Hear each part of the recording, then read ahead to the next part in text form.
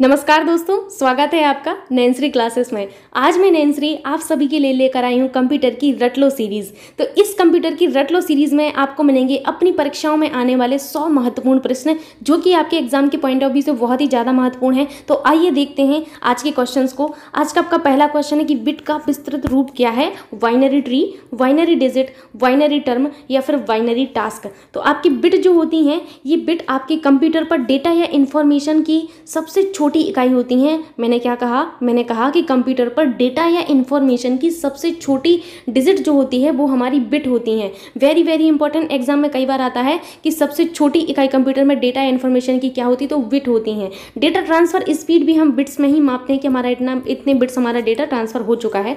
आठ बिट जब मिलती हैं, आपकी आठ बिट्स जब मिलती हैं, तब जाके आपका एक बाइट बनता है। क्या बनता है? एक बाइट बनता है। आपके बिट को स्मॉल वी से, वहीं आपके बाइट को कैपिटल बी से आपका डिनोट किया जाता है तो याद रखना ये वाला आपका कई बार एग्ज़ाम में पूछा जाता है कि एक बाइट में कितने बिट शामिल होते हैं। तो आपके एक बाइट में आठ बिट शामिल होते हैं वेरी वेरी इंपॉर्टेंट बिट का जो पूरा नाम है, वो होता है आपका बाइनरी डिजिट क्या होता है? बाइनरी डिजिट होता है। बिट जो है, आपकी कंप्यूटर की भाषा में ज़ीरो और वन होती हैं, ठीक है? ज़ीरो और वन जो है, इनको बिट्स कहा जाता है। चलते हैं नेक्स्ट क्वेश्चन की ओर। क्वेश्चन है आपका कि वी एल ई का विस्तृत रूप है वेरी वेरी इंपॉर्टेंट वी का विस्तृत रूप आपको बताना है। Value learning environment virtual load environment या फिर वर्चुअल लर्निंग एनवायरमेंट या फिर आपका वैल्यू लोडेड एनवायरमेंट अब आपको बताना है कि वी एल का पूरा नाम क्या होता है। तो वी एल का पूरा नाम होता है आपका virtual learning environment very very important question आया हुआ क्वेश्चन है, याद रखना है। चलते हैं नेक्स्ट क्वेश्चन की ओर।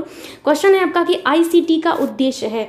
आई सी टी ये जो आईसीटी है, इसका उद्देश्य आपको बताना है स्मार्ट स्कूलों की स्थापना करना, शिक्षकों की क्षमता बढ़ाना, एक बात तो दोनों, इनमें से कोई नहीं। आइए जानते हैं आईसीटी के बारे में। पहले तो आईसीटी का पूरा नाम जान लेते हैं कि आईसीटी जो है, इसका पूरा नाम क्या है। तो आईसीटी का पूरा नाम है information and communication information and communication technology ठीक है?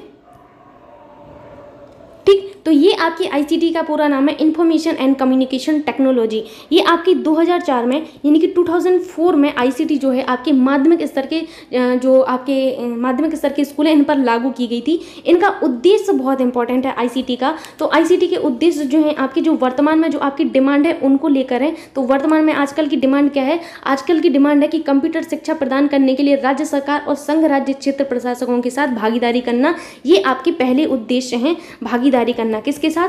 आपकी जो स्टेट गवर्नमेंट है और आपकी संघ राज्य क्षेत्रों की जो गवर्नमेंट है, उनके साथ भागीदारी करना। एंड आपका सेकंड उद्देश्य होता है आईसीटी का स्मार्ट स्कूलों की स्थापना करना। आप सभी जानते हैं कि आजकल जो है स्मार्ट स्टडी स्मार्ट एजुकेशन पर कितना ज़्यादा बल दिया जा रहा है। तो स्मार्ट स्कूलों की जो है स्थापना करना आपका जो है मेन उद्देश्य होता है आपकी आईसीटी का। एंड थर्ड इनका उद्देश्य है आपका ई विषय वस्तु का विकास। यानी कि ई विषय वस्तु का मतलब क्या होता है आपका? ई विषय वस्तु का मतलब होता है आपका इलेक्ट्रॉनिक विषय वस्तु का जो है आपका विकास करना। ठीक है? ई विषय वस्तु आपका तैयार करना। ठीक? तो ई विषय वस्तु का उद्देश्य जो है किसका है? आपके आईसीटी का है। एंड लास्ट इनका उद्देश्य है सभी शिक्षकों की क्षमता बढ़ाना। यानी कि शिक्षकों, शिक्षक जो होते हैं आपकी, शिक्षक की क्षमता बढ़ाना इनका उद्देश्य होता है आईसीटी का। तो यहाँ पर आप देख सकते हैं कि आईसीटी के चार उद्देश्य हैं। कौन कौन से? कंप्यूटर शिक्षा प्रदान करने के लिए राज्य सरकार और संघ राज्य क्षेत्र प्रशासकों के साथ, आपके प्रशासनों के साथ आपकी भागीदारी करना। एंड नेक्स्ट है आपका स्मार्ट स्कूलों की व्यवस्था करना। एंड नेक्स्ट आपका इलेक्ट्रॉनिक बेस विषय वस्तु का जो है विकास करना। एंड आपका लास्ट है कि सभी शिक्षकों की क्षमता बढ़ाना। तो आप यहाँ देख सकते हैं कि आईसीटी के ये दोनों ही उद्देश्य हैं, इसीलिए ऑप्शन थर्ड एकदम करेक्ट होगा। चलते हैं नेक्स्ट क्वेश्चन की ओर वेरी वेरी इंपॉर्टेंट क्वेश्चन की स्पेम क्या है? ये पर नहीं होता है पहले। ठीक है स्पैम क्या है? प्रोटोकॉल वंचित उद्देश्य अवांछित संदेश या फिर आपकी उपरोक्त सभी। स्पैम आपका एक तरीके का अवांछित संदेश होता है। क्या होता है स्पैम स्पैम आपका एक अवांछित संदेश होता है इसीलिए ऑप्शन थर्ड एकदम करेक्ट होगा। आइए जानते हैं स्पैम के बारे में अच्छे से कि स्पैम होता क्या है। आपके स्पैम जो है बिना बुलाए मेहमान होते हैं आपके फ़ोन में। ये बिना बुलाए मेहमान आपको कहाँ मिलेंगे? जैसे ही आप अपना आ, ईमेल खोलेंगे तो आपको ईमेल में कई सारे ऐसे ईमेल मिलेंगे जो आप आपकी इच्छा नहीं है फिर भी आपके फ़ोन में बिना बुलाए कभी भी आ जाते हैं। तो ऐसे मेल को स्पैम कहा जाता है। जैसे आप देखेंगे कि ये वाले ईमेल जो होते हैं स्पैम ईमेल ये आपके एडवर्टाइजमेंट से भरे हुए होते हैं। कई बार आप देखना कि मिंत्रा वगैरह का या फिर किसी भी कंपनी वगैरह का आपको ईमेल मिलेगा, जिनने, जिन, जिनको आपने कभी मेल नहीं किया है, लेकिन वो आपको मेल कर रहे हैं। आपकी इच्छा नहीं है, फिर भी वो आपको मेल कर रहे हैं। तो ऐसे ईमेल को हम स्पैम ईमेल कहते हैं। ये बेसिकली आपके एडवर्टाइजमेंट वाले ईमेल होते हैं। ये अवांछनीय संदेश होते हैं। क्या होते हैं? अवांछनीय संदेश होते हैं। यदि आपसे क्वेश्चन किया जाए कि आपके फ़ोन में आने वाले बिना बुलाए बाराती कौन से हैं? तो वो स्पैम ईमेल ही होते हैं, ठीक है? याद रखना है, चलते हैं नेक्स्ट क्वेश्चन की ओर। क्वेश्चन है आपसे कि निम्नलिखित में से कौन सी प्राइमरी मेमोरी है? वेरी वेरी इंपॉर्टेंट आपसे पूछा गया है कि कौन सी प्राइमरी मेमोरी है? Floppy disk hard disk C ROM या फिर रोम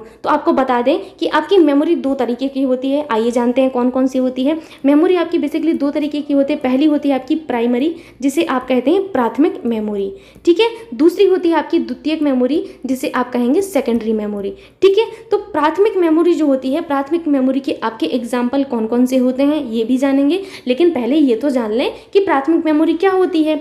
तो ऐसी मेमोरी जिसमें आपका डेटा या प्रोग्राम वो वाला स्टोर किया जाता है, जिस पर आपका सीपीयू वर्क कर रहा होता है, यानी जिस पर सीपीयू प्रोसेस कर रहा होता है। ध्यान से सुनिए, मैंने क्या कहा? मैंने ये कहा कि प्राइमरी मेमोरी में ऐसा डेटा रखा जाता है या ऐसे प्रोग्राम रखा जा, रखे जाते हैं जिनमें वर्तमान में सीपीयू वर्क कर रहा होता है। ठीक है? कई बार एग्ज़ाम में ऐसे ही पूछा जाता है आपसे कि आपकी उस मेमोरी का नाम बताइए जिसमें आपका कंप्यूटर जिस डेटा पर प्रोसेस कर रहा होता है, उस डेटा को रखा जाता है तो प्राथमिक मेमोरी है। आपकी द्वितीय मेमोरी में परमानेंट डेटा को रखा जाता है, किस डेटा को? परमानेंट डेटा को रखा जाता है। प्राथमिक मेमोरी के आपके एग्ज़ाम्पल होते हैं आपके रैम। क्या होते हैं? रैम होते हैं रोम होते हैं और आपकी कैश मेमोरी होती है। C A C H E cache memory very very important ये तीनों आपके एग्ज़ाम्पल होते हैं आपकी प्राथमिक मेमोरी के। वहीं द्वितीयक मेमोरी के एग्ज़ाम्पल होते हैं आपकी हार्ड डिस्क वगैरह फ्लॉपी डिस्क एंड आपकी जो पेन ड्राइव है, ये सभी आपकी द्वितीयक मेमोरी के एग्ज़ाम्पल होते हैं जिनमें आपका परमानेंट डेटा जो है स्टोर किया जाता है। ठीक है? तो ये चीज़ आपको याद रखनी है प्राइमरी मेमोरी और द्वितीयक मेमोरी के बारे में। रैम का पूरा नाम होता है आपका random access memory and ROM का पूरा नाम होता है आपका रीड ओनली मेमोरी वहीं कैश मेमोरी का नाम कैश मेमोरी है, जो कि आपकी सबसे फास्टेस्ट मेमोरी कही जाती है। तो यहाँ पर आप देख सकते हैं कि फ्लॉपी डिस्क हार्ड डिस्क ये आपकी सेकेंडरी मेमोरी यानी कि द्वितीय मेमोरी के एग्ज़ाम्पल है। आपका रोम जो है, आपका प्राइमरी मेमोरी का एग्ज़ाम्पल होता है, इसीलिए आपका फोर्थ ऑप्शन एकदम करेक्ट होगा। और आपका सी डी रोम आपकी द्वितीय मेमोरी का एग्ज़ाम्पल होता है प्राइमरी मेमोरी का एग्ज़ाम्पल नहीं होता है। चलते हैं नेक्स्ट क्वेश्चन की ओर। क्वेश्चन है आपसे कि कंप्यूटर का दिमाग होता है। अभी तक तो आप लोगों ने पढ़ा होगा मनुष्य का मस्तिष्क के बारे में। अब यहाँ पर देखेंगे कंप्यूटर का मस्तिष्क क्या होता है। सीपीयू, मॉनिटर, कीबोर्ड या माउस। तो कंप्यूटर का जो मस्तिष्क है या जो दिमाग है, वो आपके सीपीयू को कहा जाता है। सीपीयू का पूरा नाम होता है आपके सीपीयू का पूरा नाम क्या होता है? Central processing unit. आखिर क्यों कहा जाता है कंप्यूटर का दिमाग सीपीयू को? क्योंकि आपकी सारी की सारी प्रोसेस करने का काम किसका होता है? आपके सीपीयू का होता है। जैसे मैं आपको समझाती हूँ, आपने कोई भी यहाँ पर डेटा दिया, डेटा का मतलब है यहाँ पर आपने इनपुट दिया कंप्यूटर को। कंप्यूटर में जाने के बाद आपका प्रोसेस करने का काम सीपीयू करेगा। ये आपके सीपीयू भाई साहब हैं। ये सारी की सारी प्रोसेस करेंगे। जो भी आपने आपको जो भी काम करना होगा, जो भी कार्य करना होगा, आपने कंप्यूटर में किया। जैसे आपने मान के चलिए कि कोई भी अल्फ़ाबेट सीरीज़ आपने सर्च की। जब आपने आपने अल्फ़ाबेट सीरीज़ सर्च की तो कार्य करने, जो आपका काम किया होगा, वो आपके सीपीयू भाई साहब करेंगे। सीपीयू भाई साहब करने के बाद आपको जो आउटपुट है, वो आपके मॉनिटर पर दिख जाएगा। तो कार्य जो है, आपका कौन करता है? कार्य करने का काम आपके सीपीयू का होता है। सभी के सभी कार्य, आपकी सभी के सभी प्रोसेस आपके सीपीयू द्वारा हैंडल की जाती हैं। सीपीयू ही सारा कार्य करता है। आपका मॉनिटर जो आपका टीवी के जैसे आपको दिखता है, ये सिर्फ़ और सिर्फ़ आपके आउटपुट को डिस्प्ले करता है। क्या करता है? आपके आउटपुट को डिस्प्ले करने का काम आपके सीपीयू भाई साहब का होता है। मॉनिटर और सीपीयू दोनों ही हार्डवेयर डिवाइसेस होती हैं। हार्डवेयर डिवाइसेस ऐसी होती हैं, कंप्यूटर की हार्डवेयर डिवाइसेस उन डिवाइसेस को कहा जाता है जिनको हम टच कर सकते हैं, जिनको हम फील कर सकते हैं। जैसे आप मॉनिटर को फील कर सकते हैं, टच कर सकते हैं, सीपीयू को कर सकते हैं, मॉनिटर को आप कीबोर्ड को कर सकते हैं, माउस को कर सकते हैं, लेकिन आप किसी सॉफ्टवेयर को टच नहीं कर सकते। आपके फ़ोन में या कंप्यूटर में जो भी सॉफ्टवेयर क्या उसको टच कर सकते हैं, कभी नहीं कर सकते। ठीक है? तो याद रखना है, हार्डवेयर वो होते हैं जिनको आप टच कर सकते हैं। ठीक है? तो यहाँ पर आपने देखा कि कंप्यूटर का दिमाग कौन होता है? सीपीयू होता है। चलते हैं नेक्स्ट क्वेश्चन की ओर। क्वेश्चन है आपका कि जो आपकी वेबसाइट होते हैं, उनका मेन पेज कहलाता है। वेरी वेरी इंपॉर्टेंट क्वेश्चन आया हुआ क्वेश्चन है। वेबसाइट का मेन पेज आपको बताना है। होम पेज या मुख्य पृष्ठ। द्वितीय पेज अन्य पेज इनमें से कोई नहीं। पहले तो वेबसाइट जान लेते हैं कि वेबसाइट होती क्या है। तो वेबसाइट जो होती है, आपकी वेब पेजेस का कलेक्शन होती है। वेबसाइट क्या है? वेब पेजेस का कलेक्शन है। जो मैंने कहा, उन शब्दों पर ध्यान देना है। कभी कभी क्वेश्चन ऐसे ही पूछा जाता है कि वेबसाइट क्या है? तो वेबसाइट एक वेब पेजेस का कलेक्शन होती है। ठीक है? इन वेब पेजेस को हम कैसे एक्सेस करते हैं? हम ब्राउज़र के थ्रू करते हैं। हम इन वेब पेजेस को कैसे एक्सेस करते हैं? ब्राउज़र के थ्रू करते हैं। ठीक है? ये जो वेबसाइट होती है, जैसे मान के चलिए, आपने सर्च किया W W dot Sarkari dot Sarkari result dot com मैं यहाँ पे लिख देती हूँ W W dot Sarkari result dot com यही होता है ना? ये कॉमर्शियल वेबसाइट है तो आप देख सकते हैं कि डब्ल्यू जैसे ही सरकारी रिज़ल्ट डॉट कॉम खोला तो आपको एक पेज दिख गया होगा। तो जो पेज पहले खुला है, सबसे पहले जो पेज खुला है, वो आपका होम पेज कहलाता है। क्या कहलाता है? होम पेज कहलाता है, जिसे आप मुख्य पृष्ठ कहते हैं। फिर यहाँ पर कई सारी लिंक दी हो रही रही होती हैं कि आपका लेटेस्ट में रिज़ल्ट कौन सा आया है एंड वैकेंसी कौन कौन सी यहाँ पर न्यू न्यू फॉर्म फॉर्म वगैरह दिए रहते हैं। यहाँ पर कुछ सिलेबस वगैरह दिए रहते हैं तो आप कई सारी चीज़ें यहाँ पर देख सकते हैं रिज़ल्ट वगैरह। तो आप जैसे ही यहाँ पर आपकी जो भी नया फॉर्म आया होगा, जैसे आपका एसएससी का एमटीएस का फॉर्म आया तो जैसे आप ओपन करेंगे तो आप एसएससी की जो मेन वेबसाइट है, वहाँ पर पहुँच जाएँगे, वहाँ से आप अपना फॉर्म फिल कर सकते हैं। तो वो आपके, वो भी आपका एक वेब पेज है, लेकिन वो आपका द्वितीय पेज कहलाएगा। वहीं आपका जो सबसे पहले वेबसाइट का पेज जो खुलता है, वो आपका क्या कहलाता है? वो आपका होम पेज कहलाता है। जैसे मैं आपको एक और एग्ज़ाम्पल देती हूँ, जैसे आप ईसा फाउंडेशन वगैरह की वेबसाइट खोलेंगे तो आपको जो पहला पेज दिखेगा, वो उनका होम पेज कहलाएगा। आई होप यहाँ पर आप समझ गए होंगे, मेरे कहने का मतलब क्या है। तो वेबसाइट का जो मेन पेज है उसे होम पेज कहा जाता है या मुख्य पृष्ठ कहा जाता है। आइए चलते हैं नेक्स्ट क्वेश्चन की ओर। क्वेश्चन है आपका कि कंप्यूटर की भौतिक बनावट क्या कहलाती है? सॉफ्टवेयर हार्डवेयर एप्लीकेशन सॉफ्टवेयर या इनमें से कोई नहीं? तो कंप्यूटर की जो फ़िज़िकल बनावट है, यानी कि जो फ़िज़िकल स्ट्रक्चर है, वो आपका हार्डवेयर कहलाता है। यानी कि फ़िज़िकल बनावट क्या कहलाती? है हार्डवेयर कहलाती है। हार्डवेयर वो पार्ट्स होते हैं कंप्यूटर की जिन्हें आप फील कर सकते हैं टच कर सकते हैं। जैसे आपके कीबोर्ड हुए कीबोर्ड हुआ कीबोर्ड के अलावा आपका माउस हुआ माउस के अलावा आपका मॉनिटर हुआ मॉनिटर मॉनिटर के अलावा आपका सीपीयू हुआ यूपीएस वगैरह हुआ ये सभी के सभी आपके हार्डवेयर पार्ट्स हैं, ठीक है? चलते हैं नेक्स्ट क्वेश्चन की ओर। क्वेश्चन है आपसे कि ईमेल से जुड़ी फ़ाइल जो ईमेल प्राप्त करने वाले को भेजी जाती है, उसे कहते हैं spam email email attachment send email या इनमें से कोई नहीं तो क्वेश्चन को ध्यान से पढ़िए इंपॉर्टेंट क्वेश्चन है। ईमेल से जुड़ी फ़ाइल जो ईमेल प्राप्त करने वाले को भेजी जाती है, उसे क्या कहते हैं? तो ऐसे ईमेल को कहते हैं ईमेल अटैचमेंट क्या कहा जाता है? ईमेल अटैचमेंट कहा जाता है, ठीक है? आइए चलते हैं नेक्स्ट क्वेश्चन की ओर। क्वेश्चन है आपसे कि एक डिजिटल कंप्यूटर में डेटा किस रूप में संरक्षित किया जाता है? वेरी वेरी इंपॉर्टेंट आपका जो डिजिटल कंप्यूटर है, कंप्यूटर तो बेसिकली डिजिटल ही होगा ना? तो डिजिटल कंप्यूटर में जो डेटा होता है, यानी कि जो आपकी इन्फॉर्मेशन है, वो किस रूप में आपकी सुरक्षित, यानी कि स्टोर की जाती है? ये आपसे क्वेश्चन है। तो हेक्साडेसिमल फॉर्म में बाइनरी फॉर्म में, या दशमलव फॉर्म में, या इनमें से कोई नहीं। तो आपके डिजिटल कंप्यूटर में डेटा जो है, आपके बाइनरी फॉर्म में होता है, यानी कि आपका डेटा ज़ीरो और वन के फॉर्म में होता है। कंप्यूटर को कोई सी भी भाषा नहीं आती। कंप्यूटर को सिर्फ़ और सिर्फ़ बाइनरी भाषा आती है क्योंकि कंप्यूटर सिर्फ़ और सिर्फ़ बाइनरी भाषा में आपका जो है कार्य करता है। जो भी इन्फॉर्मेशन हमने दी, हमने अपनी भाषा में दी, लेकिन कंप्यूटर में उस इन्फॉर्मेशन को सबसे पहले बाइनरी भाषा में चेंज करेगा। यानी कि ज़ीरो और वन के फॉर्म में आपका जो है चेंज करेगा। उसके बाद वो अपना प्रोसेस करता है, यानी कि सीपीयू प्रोसेस करता है। सबसे पहले आपका ज़ीरो और वन के डेटा में फॉर्म में आपके डेटा को रखा जाता है। तो कंप्यूटर कौन सी भाषा समझता है? बाइनरी फॉर्म वाली। कंप्यूटर आपका जो है डेटा को बाइनरी फॉर्म में संरक्षित करता है। बाइनरी फॉर्म का मतलब है ज़ीरो और वन की फॉर्म में। ठीक है? चलते हैं नेक्स्ट क्वेश्चन की ओर। क्वेश्चन है आपसे कि एसटीटीपी का पूरा नाम है very very important question S का पूरा नाम क्या है? Hyper transfer protocol hyper transfer program hyper tool transfer program या फिर हाइपर टूल ट्रांसफ़र प्रोटोकॉल तो आपके एसटीटीपी यानी कि जो इस तरीके से एसटीटीपी होता है, जैसे आप कोई भी वेबसाइट का नाम लिखते हैं तो एस स्लैश, डबल स्लैश करके इस तरीके से आप अपनी वेबसाइट का नाम लिखते हैं। तो एसटीटीपी का पूरा नाम क्या होता है? ये जो एसटीटीपी है, ये इसका यूज़ बहुत इंपॉर्टेंट है। यूज़ पता होना चाहिए कि इसका यूज़ क्या है। तो एसटीटीपी का जो यूज़ होता है कि वेब पर डेटा ट्रांसफ़र किया जाता है आपके एस के माध्यम से। क्या कहा मैंने?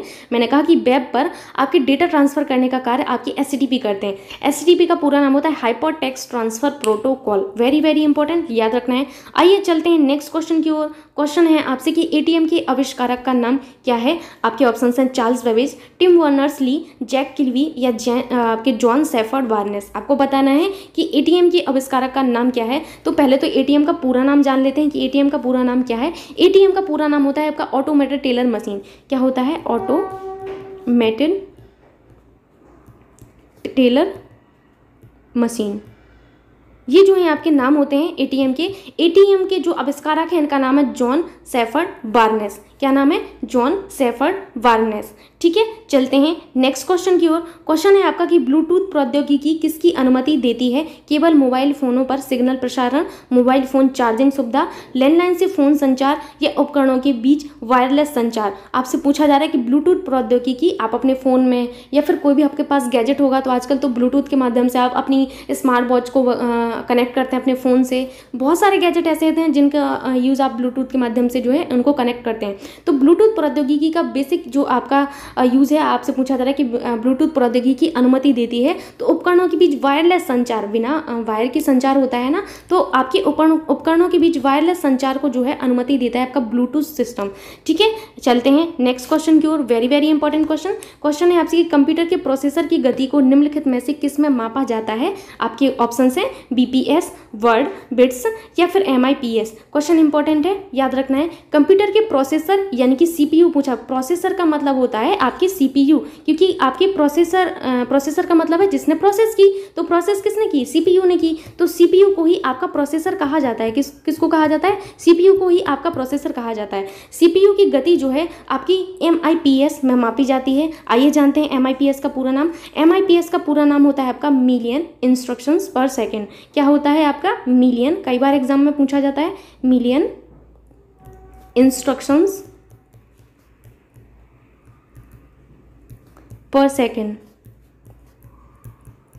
ये आपके नाम होते हैं एमआईपीएस के। याद रखना है प्रोसेसर की गति, ये आया हुआ क्वेश्चन है और आपकी इंपॉर्टेंट क्वेश्चन भी है। चलते हैं नेक्स्ट क्वेश्चन की ओर। क्वेश्चन है आपसे कि सीपीयू में कंट्रोल मेमोरी और कौन सी यूनिट होती हैं? Micro processor input output arithmetic logic unit आपका जो सीपीयू होता है सीपीयू भाई साहब में आपकी तीन यूनिट होती हैं। कौन कौन सी यूनिट होती हैं? एक होती हैं आपकी कंट्रोल यूनिट दूसरी होती हैं आपकी मेमोरी यूनिट एंड आपकी थर्ड होती हैं आपकी अर्थमेटिक लॉजिक यूनिट जिन्हें ए कहते हैं। ये जो कंट्रोल यूनिट होती हैं, ये कंट्रोल आपकी करती हैं, आपके प्रोग्राम वगैरह को। मेमोरी यूनिट आपके डेटा को जो है स्टोर करती हैं, वहीं ए यानी कि अर्थमेटिक लॉजिक यूनिट जो होती हैं, आपकी अर्थमे आपकी जो गणती गणनाएँ जो आपकी गणित से संबंधित जितनी भी गणनाएँ हैं, ये आपके ए में परफॉर्म की जाती हैं। यदि आप कंप्यूटर में टू प्लस टू करते हैं तो ये ए का काम होता है इन टू प्लस टू को चार बनाना। इनको जोड़ने का काम कौन करता है? आपके ए करते हैं। तो ए में आपकी गणित से संबंधित सभी गणनाएँ जो हैं आपकी परफॉर्म की जाती हैं। तो आपके जो सी पी यू है, इनमें तीन यूनिट यूनिट होती हैं। Control unit memory unit arithmetic logic unit very very important question याद रखना है। ऑप्शन फोर्थ एकदम करेक्ट होगा। एंड नेक्स्ट क्वेश्चन है आपका कि डॉट सी ओ एम क्या निरूपित करता है? सरकारी क्षेत्र संचार क्षेत्र, शिक्षा क्षेत्र या फिर वाणिज्य क्षेत्र। बताना है कि डॉट कॉम क्या निरूपित करता है? तो आपका जो डॉट कॉम है, ये बेसिकली आपके संचार क्षेत्र को निरूपित करता है। सरकारी क्षेत्र की जो वेबसाइट होती हैं, इनमें डॉट इन आता है। क्या आता है? डॉट इन आता है। कभी आप देखना कि जो आपकी गवर्नमेंट वाली वेबसाइट होती हैं, इनमें बेसिकली लास्ट में डॉट इन आता है। जैसे मैं आपको बता दूँ, आपकी एक वेबसाइट है U P D L ed dot in G O V dot in तो आपकी ये जो है एक सरकारी वेबसाइट है, कौन सी? U P D L ed dot G O V dot in यहाँ पर आप देखेंगे डॉट इन जो है आपका एक गवर्नमेंट वेबसाइट को डिनोट करता है। एंड आपकी संचार क्षेत्र की जो वेबसाइट होगी, वो डॉट कॉम आपका लास्ट में होगा। शिक्षा क्षेत्र की जो वेबसाइट होती है, उनमें लास्ट में डॉट ई डी यू आता है। ये सभी चीज़ें आपको याद रखना है। शिक्षा क्षेत्र की वेबसाइट में क्या आता है? लास्ट में डॉट ई डी यू आता है। वहीं वाणिज्य क्षेत्र की वेबसाइट में आपको क्या देखने को मिलेगा? डॉट कॉम देखने को मिलेगा। एंड आपकी एक और होती हैं, आपकी जैसे किसी ऑर्गेनाइजेशन से संबंधित यदि कोई वेबसाइट है तो उसमें लास्ट में डॉट ओ आर जी आता है। क्या आता है? डॉट ओ आर जी आता है। इतनी चीज़ें आपको याद रखनी है। डॉट कॉम क्या निरूपित करता है? एक संचार क्षेत्र की वेबसाइट को निरूपित करता है। आइए चलते हैं नेक्स्ट क्वेश्चन की ओर। क्वेश्चन बहुत इंपॉर्टेंट है। क्वेश्चन है आपसे कि गूगल ने किस वेब ब्राउज़र को विकसित किया था? बताना है आपको कि गूगल ने किस वेब ब्राउज़र को विकसित किया था?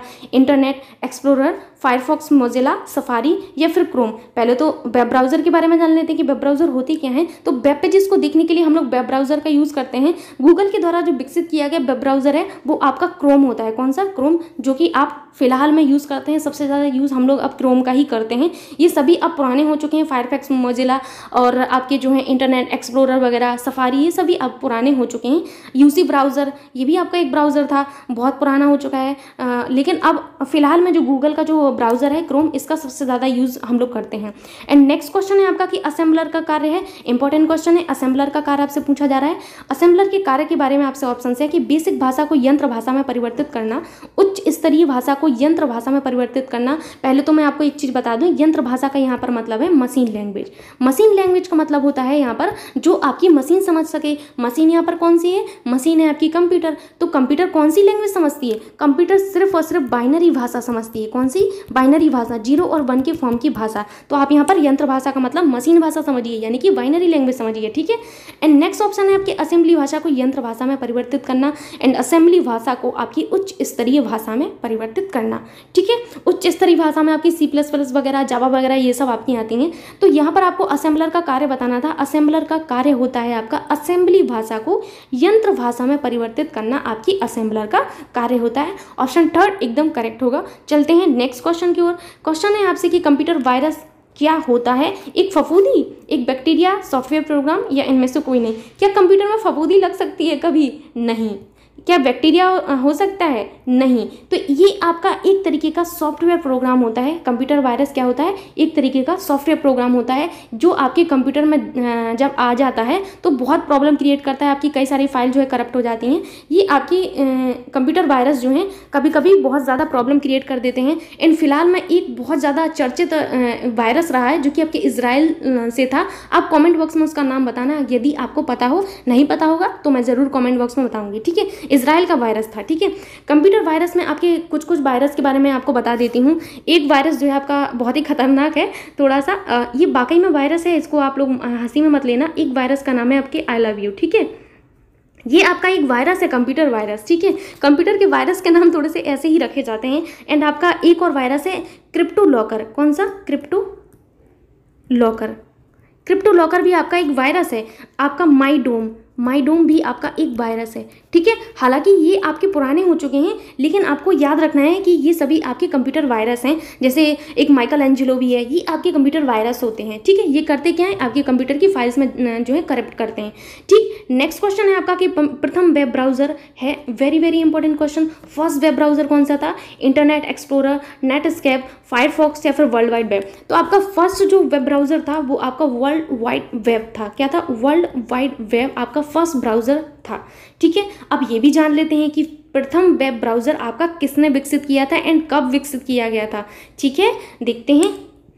आपका जो फ़र्स्ट वेब ब्राउज़र है, जिसका नाम है वर्ल्ड वाइड वेब, ये आपके 1990 में आपका जो है डेवलप किया गया था। किसके द्वारा? सर टिम वर्नर्स ली के द्वारा। Tim Berners Lee.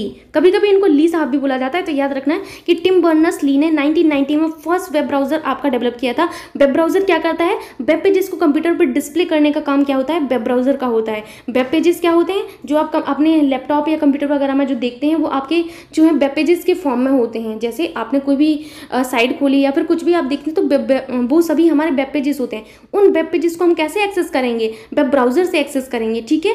आपका जो सर्वर है, वो किस फॉर्म में देगा? आपको वेब पेजेस के फॉर्म में देगा। लेकिन कहीं ना कहीं तो चाहिए कि कहीं ना कहीं तो वो डिस्प्ले करेगा ना। तो आपके ये जो वेब पेजेस हैं, उनको डिस्प्ले किया जाता है वेब ब्राउज़र के थ्रू ठीक है? नेक्स्ट क्वेश्चन है आपका कि अनुपम क्या है? Very very important question Anupam के बारे में पूछा गया है। एक शोध संस्थान नवनिर्मित यान कंप्यूटर सॉफ्टवेयर या फिर एक सुपर कंप्यूटर तो अनुपम जो है आपका एक सुपर कंप्यूटर है। क्या है? एक सुपर कंप्यूटर है आपका अनुपम। ठीक है?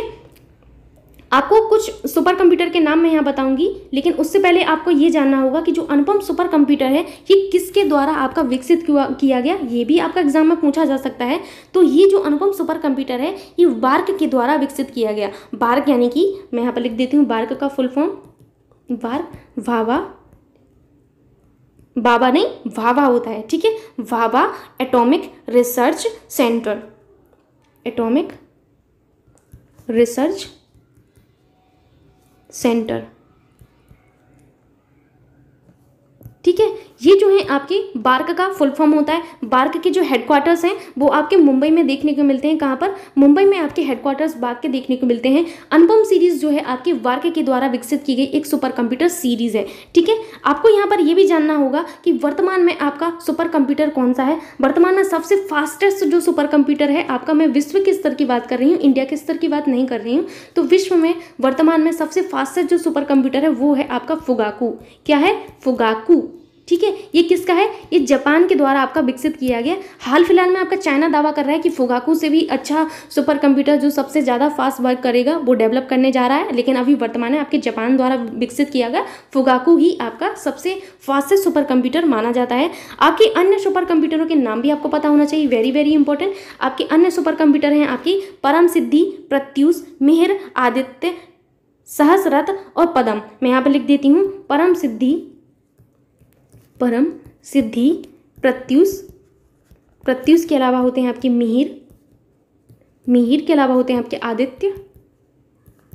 आदित्य सहस्रथ सोच रहे होंगे आप लोग, ये सब नाम तो हम लोगों के होते हैं, लेकिन यही सब नाम आपके जो हैं आपके सुपर कंप्यूटर के रखे जाते हैं, ठीक है? ये बेसिकली आपके सीडेक द्वारा निर्मित किए गए सुपर कंप्यूटर सीरीज़ हैं, जैसे परम सिद्धि, प्रत्युष, मेहर, आदित्य सहस्रत पदम ये सुपर कंप्यूटर है। एग्ज़ाम में यही पूछा जाना है कि निम्नलिखित में से कौन सा सुपर कंप्यूटर है, या फिर एक नाम दे दिया जाएगा आपको कि आपका सहस्रत क्या है तो आपको दे दिया जाएगा, एक आपका बैक्टीरिया है, एक वायरस है कंप्यूटर का, या फिर एक सुपर कंप्यूटर है, या फिर आपकी एक मेमोरी का नाम है। तो याद रखना है कि सहस्रथ एक प्रकार का हमारा सुपर कंप्यूटर है। वेरी वेरी इंपॉर्टेंट इन सभी सुपर कंप्यूटर के नाम याद रखने हैं, ठीक है?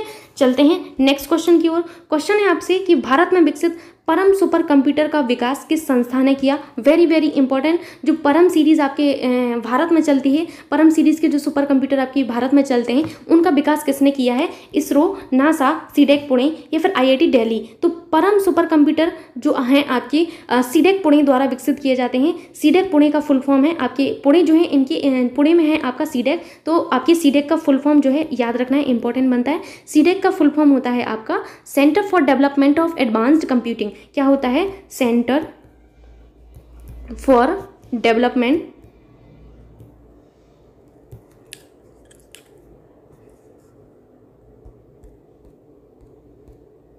तो आपके सीडेक का पूरा नाम है centre for development of advanced computing ठीक है? यहाँ पर मैं लिख देती हूँ।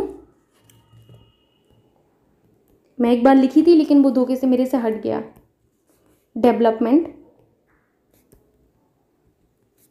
ऑफ़ एडवांस्ड कंप्यूटिंग ठीक है? तो ये जो है आपके सीडेक का पूरा नाम है। कई बार एग्ज़ाम में पूछा जाता है कि सीडेक कहाँ स्थित है? तो पुणे, महाराष्ट्र में आपके सीडेक देखने को मिलता है। आपके सीडेक द्वारा विकसित जो है पहला सुपर कंप्यूटर कौन सा था? वेरी वेरी इंपॉर्टेंट सीडेक द्वारा विकसित पहला जो सुपर कंप्यूटर था, उसका नाम था आपका परम एट थाउज़ेंड क्या नाम था? परम एट थाउज़ेंड। यदि आपसे एग्ज़ाम में पूछा जाए कि परम नाम के, यानी कि परम सीरीज़ के जो सुपर कंप्यूटर हैं, किसके द्वारा विकसित किए जाते हैं तो सीडेक द्वारा विकसित किए जाते हैं। वहीं सीडेक द्वारा विकसित जो पहला सुपर कंप्यूटर था, उसका नाम था परम एट थाउज़ेंड। इसका निर्माण आपका नाइनटीन में किया गया था सीडेक के द्वारा। आपके सीडेक में आपके जो प्रथम जो super computer Param eight thousand था, इनके निर्माण का जो श्रेय है, वो इनके जो वहाँ, उस टाइम के जो निदेशक थे, उनका नाम था डॉक्टर विजय भास्कर। क्या नाम था? डॉक्टर विजय भास्कर। ठीक है? तो डॉक्टर विजय भास्कर को इसका श्रेय जाता है, आपके जो है सुपर कंप्यूटर निर्माण का श्रेय इनको ही जाता है। वर्ल्ड के तौर पर अगर देखा जाए तो वर्ल्ड के तौर पर आपके super computer Cray research company द्वारा बनाए जाते हैं। किसके द्वारा?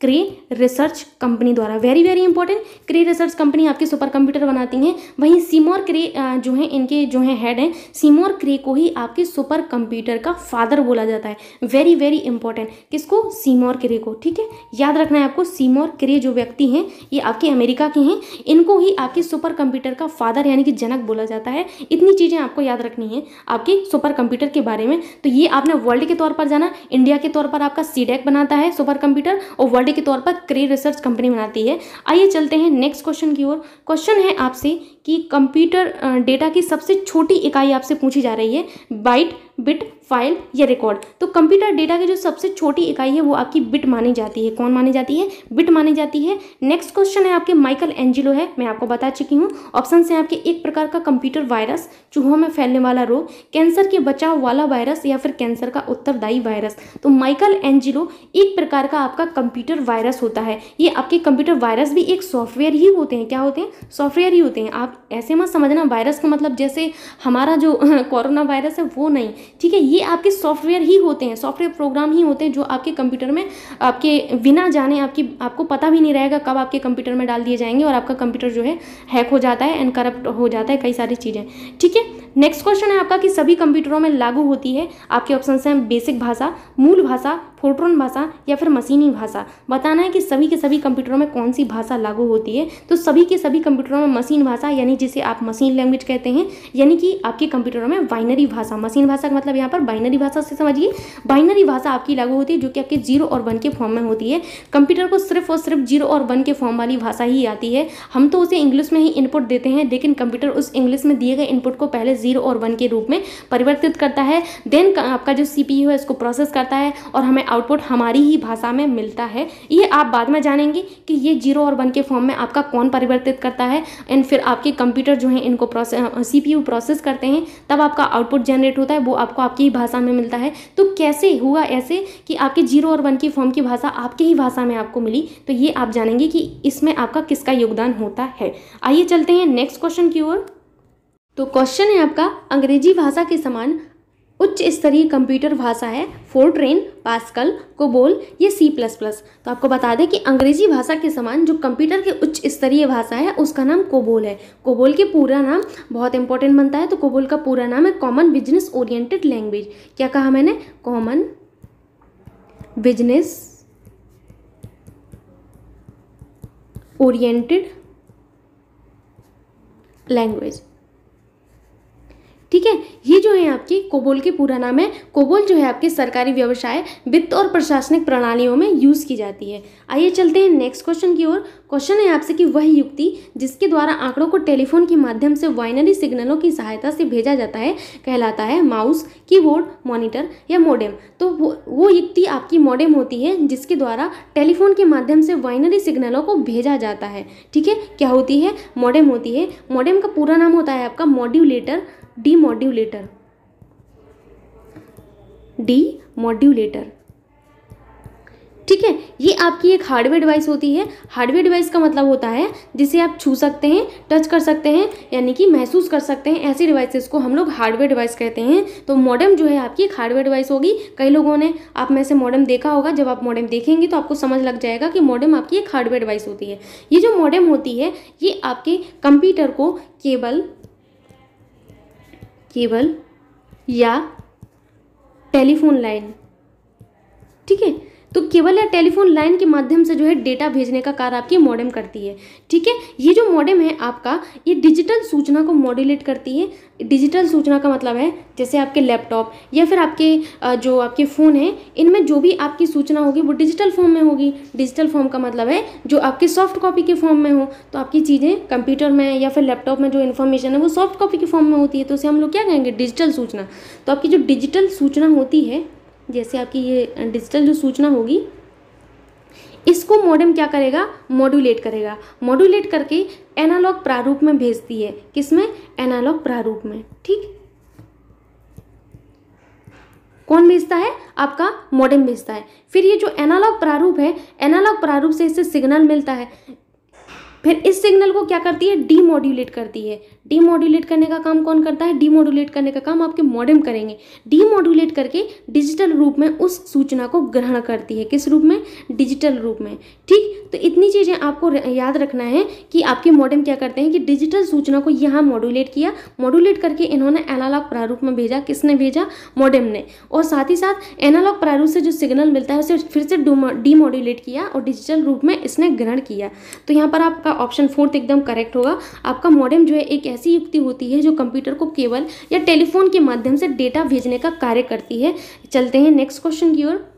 क्वेश्चन है आपसे कि वीडियो मेल में हम क्या भेज सकते हैं? Video clips video message graphics यह यह सभी। तो आप सभी को बेहतरीन तरीके से पता होगा कि हम लोग वीडियो मेल में क्या भेजते हैं, क्योंकि ट्वेंटी फ़र्स्ट सेंचुरी में ये सब चीज़ें हम लोग के यूज़ में हैं तो हम लोग समझ सकते हैं कि हम लोग वीडियो मेल में वीडियो क्लिप्स भी भेजते हैं वीडियो मैसेज भी भेजते हैं ग्राफिक्स भी भेजते हैं, इसीलिए फोर्थ ऑप्शन एकदम करेक्ट होगा।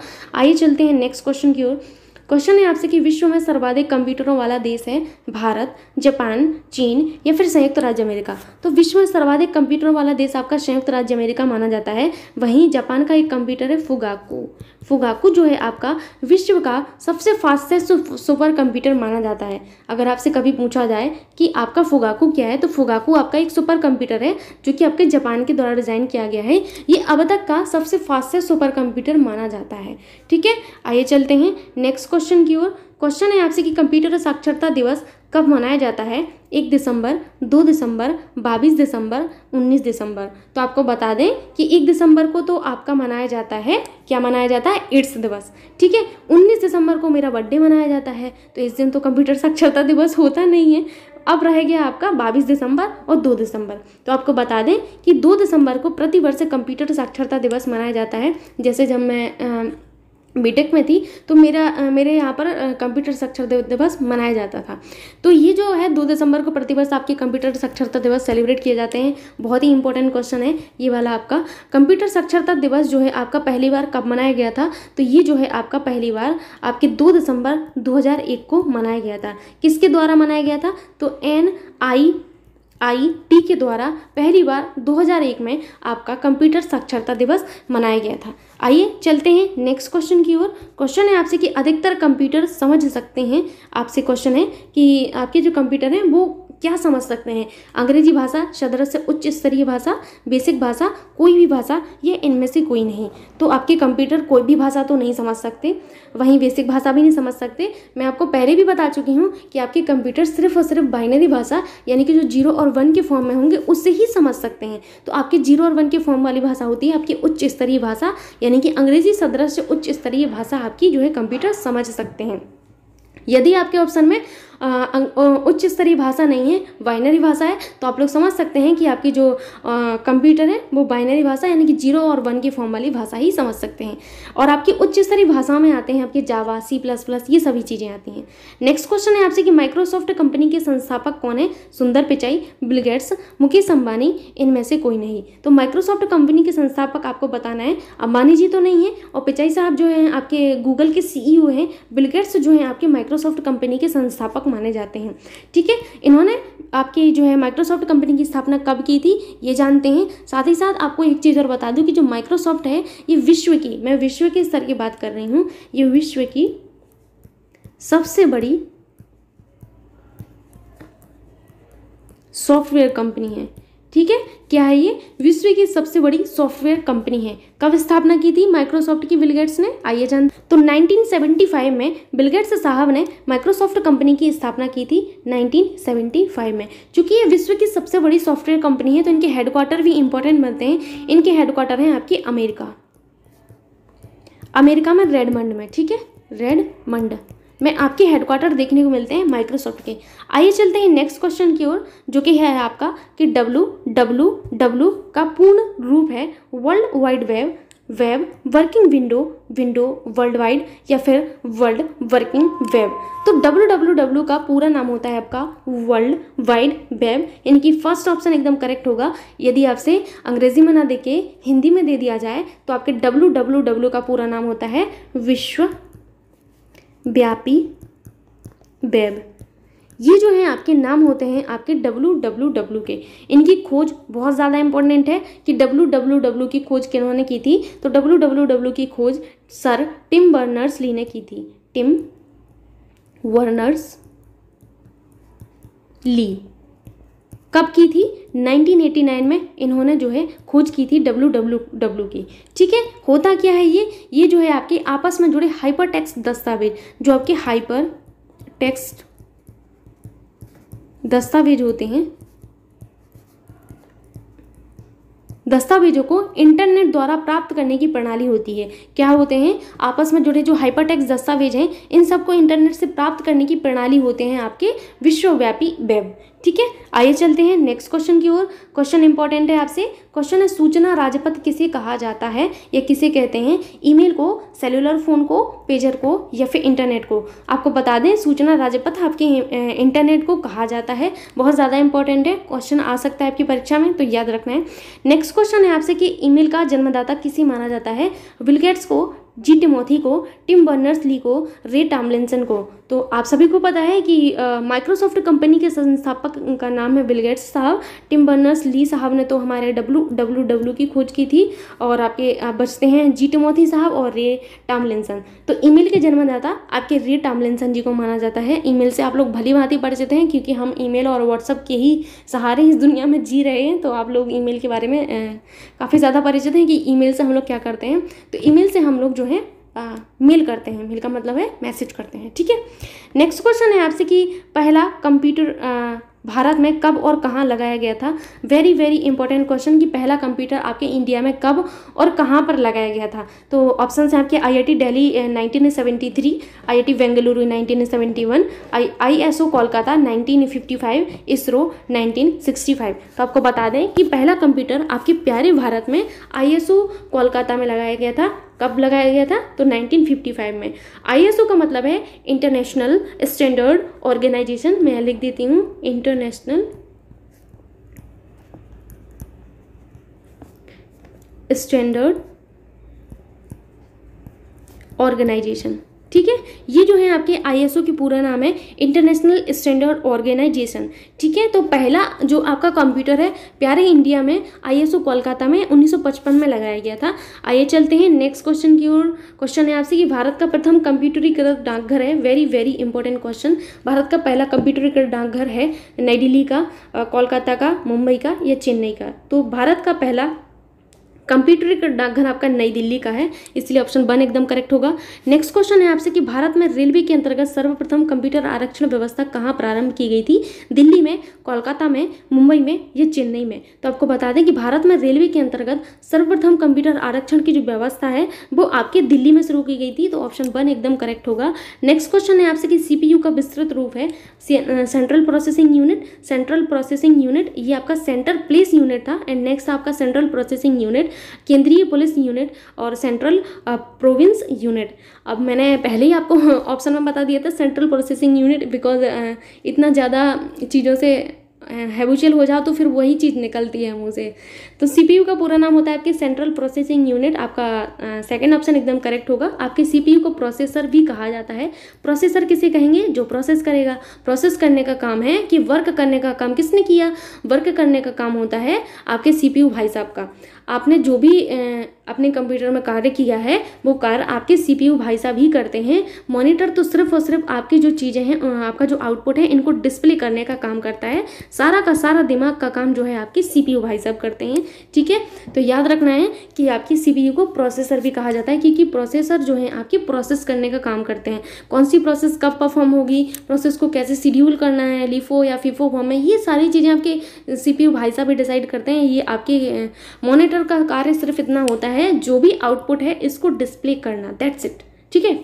चलते हैं नेक्स्ट क्वेश्चन की ओर। क्वेश्चन है आपसे कि ग्राफिकल यूज़र इंटरफेस का प्रारंभ किया। वेरी वेरी इंपॉर्टेंट आखिर होते क्या है ग्राफिकल यूज़र इंटरफेस एंड इनका प्रारंभ किन्होंने किया? इन सब चीज़ों के बारे में आप जानेंगे। तो जल्दी से वीडियो को लाइक कर दीजिए फिर। अगले वीडियो के लिए भी।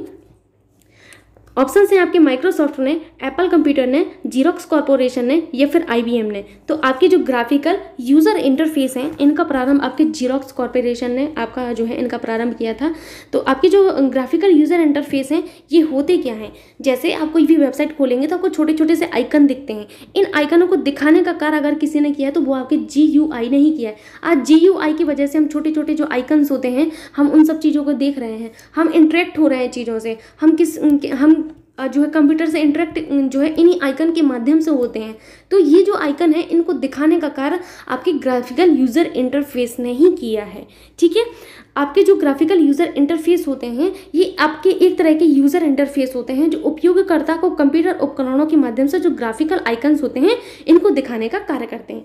ठीक? तो याद रखना है ऑप्शन थर्ड एकदम करेक्ट होगा। आइए चलते हैं नेक्स्ट क्वेश्चन की ओर, जो कि है आपका कि ग्राफिकल यूज़र इंटरफेस में प्रोग्रामों को दर्शाने के लिए छोटी छोटी तस्वीरों का प्रयोग किया जाता है, यह कहलाते हैं। मैंने अभी आपको बताया है, आप शायद समझ जाएँ फिगर फ़ाइल आइकन ये फोल्डर तो ग्राफिकल यूज़र इंटरफेस जिन्हें आप जी यू आई भी कहते हैं जी यू आई तो आपके जो जी यू आई होते हैं, इनमें प्रोग्रामों को दर्शाने के लिए हम छोटे छोटे तस्वीरों का यूज़ करते हैं.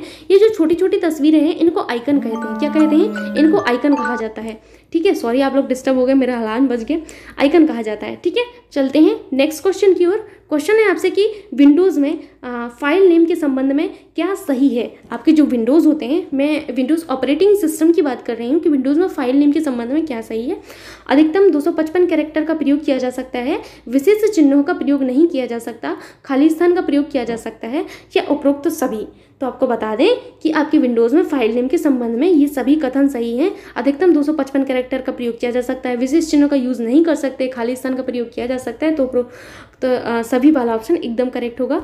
आइए चलते हैं नेक्स्ट क्वेश्चन की ओर जो कि है आपका कि उपयोगकर्ता दस्तावेजों को जो नाम देता है उसे कहते हैं। वेरी वेरी इंपॉर्टेंट उपयोगकर्ता का मतलब है आपका यूज़र।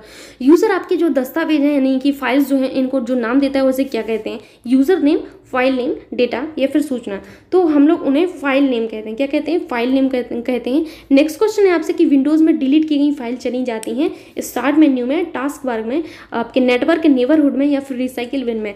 तो अब तो हमारे विंडोज़ ऑपरेटिंग सिस्टम के अलावा फ़ोन में भी ये सब सिस्टम आने लगे हैं। जैसे मेरे पास सैमसंग का फ़ोन है। तो सैमसंग में आपके रिसाइकिल बिन होता है। मुझे अदर फ़ोन के बारे में नहीं पता है सॉरी तो आपकी जो विंडोज़ ऑपरेटिंग सिस्टम है ना, इनमें डिलीट की गई फ़ाइल जो है आपकी रिसाइकिल बिन में जाती हैं। जैसे जैसे मैं फ़ोन में कुछ भी डिलीट कर देती हूँ तो मेरा रिसाइकिल बिन में चला जाता है। जब तक मैं रिसाइकिल बिन से वो चीज़ें डिलीट ना करूँ, तब तक वो फ़ोन में मेरे बनी रहती हैं, ठीक? तो आपकी जो चीज़ें डिलीट की गई होती हैं, वो आपकी रिसाइकिल बिन में चली जाती हैं। रिसाइकिल बिन आपको जब कंप्यूटर में देखेंगे इस तरीके ग्लास टाइप का होता है, ठीक है?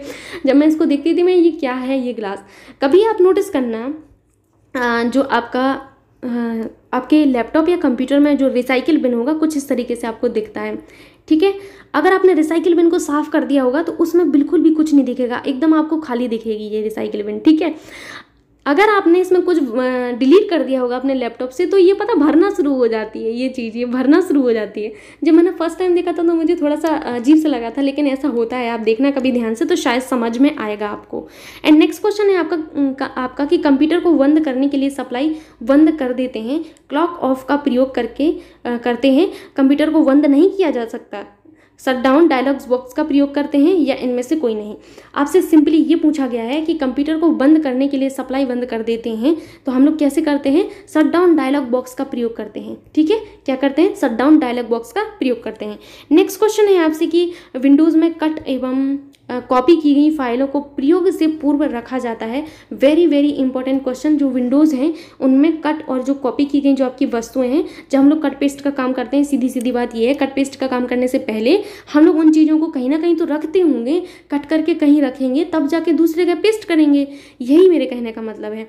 ठीक है कि कट की कट या कॉपी करने से पूर्व जो आपके आपकी जो जो भी इन्फॉर्मेशन है, वस्तु है, उसको कहाँ रखते हैं? क्लिप बोर्ड में फॉर्मे पेंटर में नोटपैड में या इनमें से कोई नहीं? तो ऐसी चीज़ों को हम लोग रखते हैं क्लिप बोर्ड में। ऑप्शन वन एकदम करेक्ट होगा। एंड नेक्स्ट क्वेश्चन है आपसे कि वर्ड डॉक्यूमेंट का फ़ाइल एक्सटेंशन नेम होता है। Doc T X T W R D या इनमें से कोई नहीं। तो वर्ड डॉक्यूमेंट का जो फ़ाइल एक्सटेंशन होता है, वो डॉट डी ओ सी होता है। नेक्स्ट क्वेश्चन है आपसे कि प्रिंट की प्रिंट के लिए कौन सा मेन्यू चुना जाता है? वेरी वेरी इंपॉर्टेंट आपके प्रिंट के लिए आप कौन सा मेन्यू चुनते हैं? एडिट फ़ाइल टूल्स इनमें से कोई नहीं। तो शायद आप लोगों ने प्रिंट जो है आपने करवाया होगा कभी लैपटॉप में? जैसे मैंने करवाया तो मैं बता देती हूँ आपको कि जब हम लोग प्रिंट करवाते हैं तो हमें जो मेन्यू चुनना होता है, उसका नाम होता है आपका फ़ाइल मेन्यू। जब आप फ़ाइल मेन्यू में जाएँगे तो आपको वहाँ पर सारे ऑप्शन मिल जाएँगे प्रिंट के। तो आपसे सिंपली यही पूछा गया था कि प्रिंट करने के लिए हम लोग कौन सा मेन्यू चुनते हैं तो फ़ाइल मेन्यू चुनते हैं, ठीक है? नेक्स्ट क्वेश्चन है आपसे कि सॉफ्टवेयर में कमांड और ऑप्शन की सूची होती है। टूल बार में आपके टाइटल बार में मेन्यू बार में टूल बार में, या इनमें से कोई नहीं। तो आपके सॉफ्टवेयर में कमांड और ऑप्शन की जो सूची होती है, वो टूल बार में होती है। मैंने पहली बार में ही कह दिया। मैं आपको बोल रही हूँ कि इतनी चीज़ें हैबिचुअल हो जाती हैं कि वो सब चीज़ें एकदम से निकल जाती हैं मुझसे तो टूल बार में ही आपके जो सॉफ्टवेयर हैं, उनमें कमांड और ऑप्शन की सूची होती है।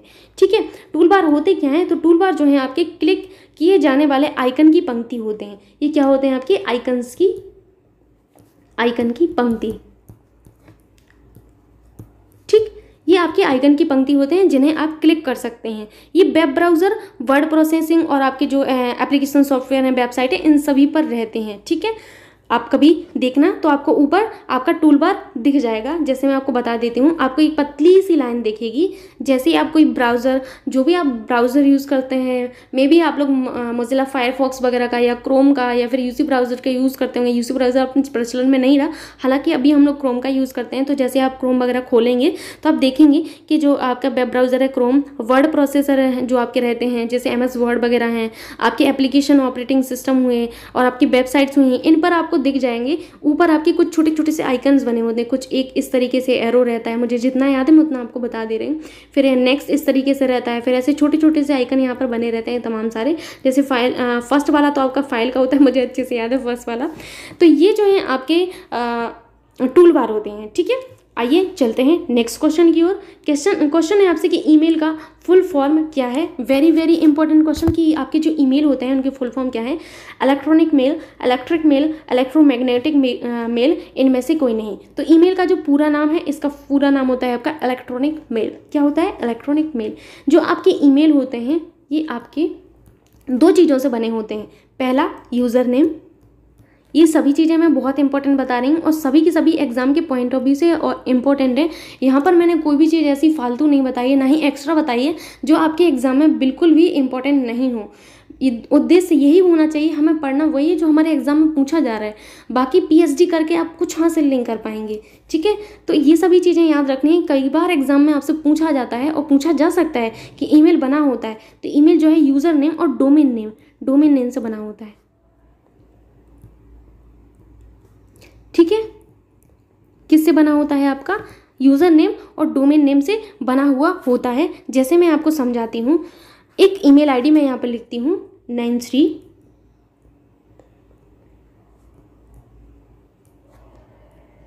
ninety eight at the rate Gmail dot com अब यहाँ पर मैं सभी दर्शकों को एक बात बता दूँ कि ये जो है ईमेल आईडी, मैंने एक एग्जांपल दिया है, कहीं आप लोग इस पर मेल करना शुरू ना कर दें, ये मेरी ईमेल आईडी नहीं है। मैंने एग्जांपल आपको सेट करके दिया है कि मान के चलिए कि ये एक ईमेल आईडी है। अब इसमें आपको मैं समझाऊँगी कि यूज़र नेम क्या होता है डोमेन नेम क्या होता है and why we use the at the rate तो एट द रेट एक ऐसी चीज़ है जो आपके यूज़र नेम को डोमेन नेम से अलग करती है। आपका सर्वर इसी एट द रेट से पहचानता है कि कौन सा यूज़र नेम है एंड कौन सा डोमेन नेम है। आपके डोमेन नेम का यहाँ पर क्या नाम है? जी ठीक है? जी क्या है यहाँ पर? सर्विस प्रोवाइडर है, जो हमें सर्विस सर्विस प्रोवाइड कर रहा है। जैसे हम लोग जी यूज़ करते हैं तो जी आता है। यदि हमने याहू वगैरह यूज़ किया होगा तो याहू आपका आएगा। ठीक है? तो आपके जैसे जीमेल हुआ याहू हुआ आउटलुक हुआ एंड आपके रेडिफ मेल हुआ, ये सब आपके सर्विस प्रोवाइडर होते हैं, जिनसे आप लोग फ्रीली मेल कर सकते हैं। ठीक है? तो यहाँ पर आपका जीमेल जो है आपके डोमेन नेम है। ठीक? डोमेन नेम क्या है हमारा? जी मेल डॉट कॉम वहीं पर आपका नाइन थ्री नाइन्टी एट क्या है? यहाँ पर नाइन थ्री या नाइन्टी एट, ये आपका यूज़र नेम कहलाएगा। ठीक? इनको अलग करने का काम हमारे एट द रेट ने किया। आई होप यहाँ पर आपको चीज़ें समझ में आई होंगी। ठीक है? ये जो है आपके जीमेल ये क्या है? मैंने बताया आपको सर्विस प्रोवाइडर हैं जो हमें सर्विस दे रहे हैं जीमेल की। ठीक है? यहाँ पर आपका याहो भी हो सकता है रेडिफ मेल, ये सब हो सकते हैं आपके, जो भी सर्विस प्रोवाइडर होगा, उसका नाम यहाँ पर आएगा। आई होप यहाँ पर आप समझ गए होंगे कि ईमेल कैसे बनता है। तो आपका ईमेल यूज़र नेम और आपके जो है डोमेन नेम से बनता है। चलते हैं नेक्स्ट क्वेश्चन की ओर, जो कि है आपका कि चित्र संदेश, यानी कि वीडियो मैसेज निजी इनबॉक्स में कितने दिन बना रहता है, कितने दिन रहता है? Twenty eight days thirty days seven days या फिर फाइव डेज़। बताना है आपको कि चित्र संदेश यानी कि वीडियो मैसेज कितने दिन आपके निजी इनबॉक्स में बना रहता है। यहाँ पर मैं मेल की बात कर रही हूँ, जहाँ पर आपका इनबॉक्स होगा तो आप लोग देखना कि कितने दिन आपका वीडियो मैसेज बना रहता है। ये जो वीडियो मैसेज है, ये आपका मैक्सिमम थर्टी डेज़ तक ही बना रहता है। ऑप्शन टू एकदम करेक्ट होगा थर्टी डेज़ तक ही आपका जो है निजी इनबॉक्स जो होता है आपका मेल का, उनमें आपका वीडियो मैसेज बना रहता है। आइए चलते हैं नेक्स्ट क्वेश्चन की ओर। क्वेश्चन है आपसे कि ब्लॉग शब्द दो शब्दों का संयोजन है। बेब्लॉग बी ब्लॉग बेब्लॉग या फिर आपकी बेडलॉग आपको बता दें कि जो ब्लॉग है, ये आपके दो शब्दों का संयोजन होता है वेब और लॉग ठीक है? यानी कि आपका फ़र्स्ट ऑप्शन एकदम करेक्ट होगा वेबलॉग ठीक है? नेक्स्ट क्वेश्चन है आपसे कि सीसी क्या है? Very very important question CC क्या है? कंप्यूटर की भाषा एक से अधिक व्यक्तियों को ईमेल की कॉपी भेजना व्यापारिक भाषा इनमें से कोई नहीं। जैसे मैंने एक से अधिक व्यक्तियों को जो है मेल भेजने के लिए सीसी का यूज़ किया हुआ है तो जो सीसी होते हैं, ये जो है आपके एक से अधिक व्यक्तियों को मेल भेजने की पद्धति होते हैं, इसलिए ऑप्शन टू एकदम करेक्ट होगा। एंड नेक्स्ट क्वेश्चन है आपसे कि निम्नलिखित में से कौन सा निःशुल्क ईमेल निःशुल्क ईमेल सेवा प्रदाता है हॉटमेल रेडिफ मेल या हो या फिर सभी। आपको बता दें ये सभी जो है आपको निःशुल्क ईमेल प्रोवाइड करते हैं हॉटमेल भी रेडिफ मेल भी याहो भी। इनके अलावा आपका जीमेल आपके जीमेल भी आपको फ्री आपको जो है सेवा देते हैं आ, और आउटलुक आउटलुक। ये सारे आपके जो हैं निःशुल्क ईमेल सेवा प्रदाता हैं। नेक्स्ट क्वेश्चन है आपसे कि प्रत्येक ईमेल अकाउंट में एक स्टोरेज एरिया होता है जिसे कहते हैं। Hyperlink IP address email attachment या फिर मेल बॉक्स क्वेश्चन आपसे सिंपली यही है कि जैसे ही आप अपना ईमेल खोलेंगे या जीमेल खोलेंगे, जैसे आप जीमेल कहते हैं जीमेल अकाउंट जहाँ रहता है आपका, जैसे ही आप अपना ईमेल खोलेंगे, जो आपका ऐप रहता है, कुछ इस तरीके से रहता है आप अपने जीमेल को खोलना। तो आप देखेंगे कि ईमेल अकाउंट में एक स्टोरेज एरिया है, जहाँ पर आपके सभी सभी ईमेल रहते हैं। तो उसको क्या कहते हैं? तो उसको हम लोग मेल बॉक्स कहते हैं। क्या कहते हैं? मेल बॉक्स कहते हैं। मेल बॉक्स में आपके सभी सभी जो है ईमेल स्टोर रहते हैं। एंड नेक्स्ट क्वेश्चन है आपसे कि वीडियो कॉन्फ्रेंसिंग है।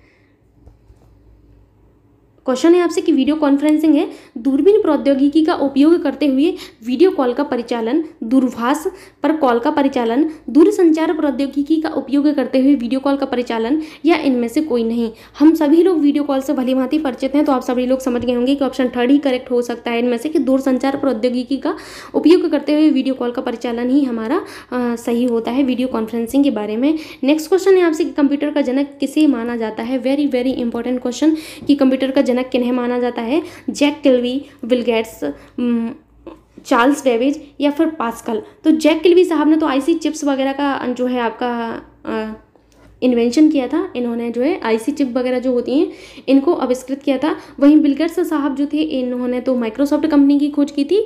एंड आपके चार्ल्स वेबेज जो हैं, ये जो हैं आपके माने जाते हैं कंप्यूटर के जनक। क्या? कंप्यूटर के जनक कौन माने जाते हैं? चार्ल्स वेबेज साहब माने जाते हैं। आधुनिक कंप्यूटर विज्ञान में आपके जो है, इनमें इनका योगदान होने की वजह से इन्हें आधुनिक कंप्यूटर विज्ञान का जनक माना जाता है। क्या माना जाता है? वेरी वेरी इंपॉर्टेंट ये चीज़ बिल्कुल आपको याद रखनी है कि आधुनिक कंप्यूटर विज्ञान का जनक। किन्हें माना जा, जाता है? आपके चार्ल्स वेबेज जी को ही माना जाता है। ठीक है? इन्होंने जो 1922 में 19 सॉरी 1922 तो नहीं होगा 1822 1822 में 1922 तो बहुत लेट हो गया 1822 में जो है इन्होंने डिफरेंस इंजन एक जो था डिफरेंस इंजन का आविष्कार किया था।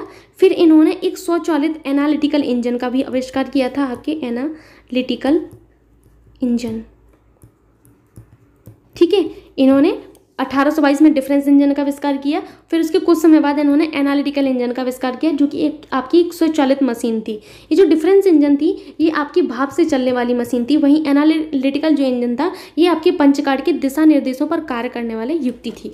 ठीक है? तो आपके चार्ल्स वेवेज साहब को आपके कंप्यूटर का जनक माना जाता है। आप कंप्यूटर सब्जेक्ट पढ़ रहे हैं तो उनके फादर का नाम पता होना चाहिए। तो कंप्यूटर के जो आधुनिक विज्ञान के जनक जो हैं, उनका नाम है आपके चार्ल्स वेवेज साहब हैं। पास्कल जी ने क्या किया था? इनका योगदान भी बहुत ही ज़्यादा रहा। इन्होंने प्रथम यांत्रिक गणना मशीन के आविष्कार किया था पास्कल साहब ने। ठीक है, क्या किया था इन्होंने? प्रथम यांत्रिक गणना मशीन।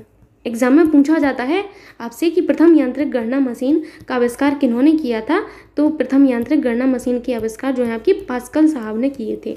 ठीक है, नेक्स्ट क्वेश्चन है आपसे कि आधुनिक विज्ञान के विकास में सर्वाधिक योगदान किसका है? Von Neumann. Charles Babbage Herman Hollerith, इनमें से कोई नहीं। तो आधुनिक कंप्यूटर विज्ञान के विकास में जो सर्वाधिक योगदान है, वो अमेरिका की वॉन न्यूमैन साहब का माना जाता है, किनका? वॉन न्यूमैन साहब का माना जाता है, जबकि बाइनरी प्रणाली है जो ज़ीरो एक के फॉर्म में रहती है, इनमें भी इनका योगदान माना जाता है। आपका ये पूछा गया क्वेश्चन है कि आधुनिक कंप्यूटर के विकास में सबसे ज़्यादा योगदान किसका है? तो वॉन न्यूमैन साहब का है, ये आपके अमेरिका के हैं। कहाँ के हैं? अमेरिका के हैं।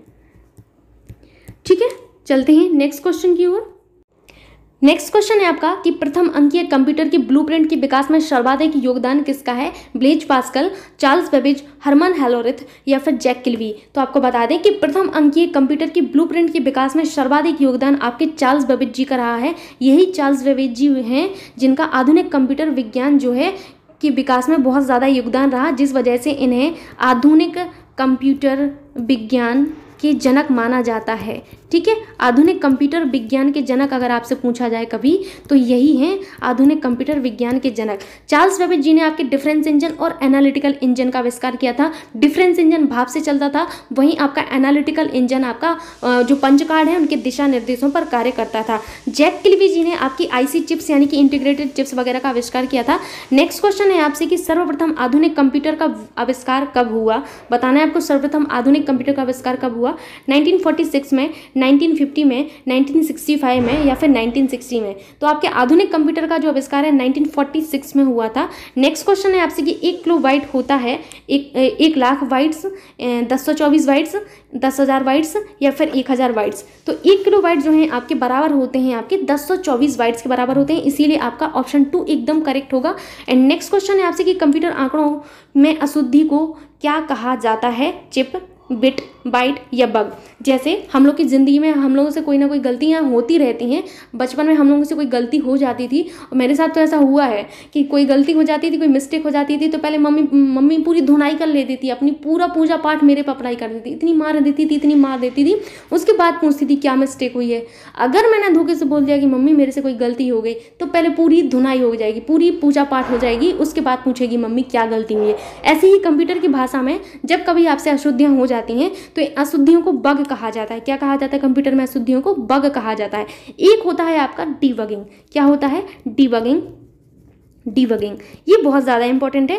डीबगिंग आपकी एक ऐसी प्रक्रिया है, कैसी प्रक्रिया है? तो आपकी ऐसी प्रक्रिया है जिसके द्वारा आपके सॉफ्टवेयर कोड सॉफ्टवेयर कोड का मतलब होता है जो आपके प्रोग्राम वगैरह आप लोग लिखते हैं, जैसे सी में, हम लोग जाबा में प्रोग्राम लिखते हैं ना तो वो सॉफ्टवेयर कोड में से एरर और आपके जो बग हैं, उनको डिटेक्ट और करेक्ट किया जाता है डीबगिंग के माध्यम से। फिर से सुनिए मैंने क्या कहा। डीबगिंग आपकी एक ऐसी प्रक्रिया है, जिसके द्वारा सॉफ्टवेयर कोड में से आपके जो बग हैं, इनको डिटेक्ट और करेक्ट किया जाता है, ठीक है?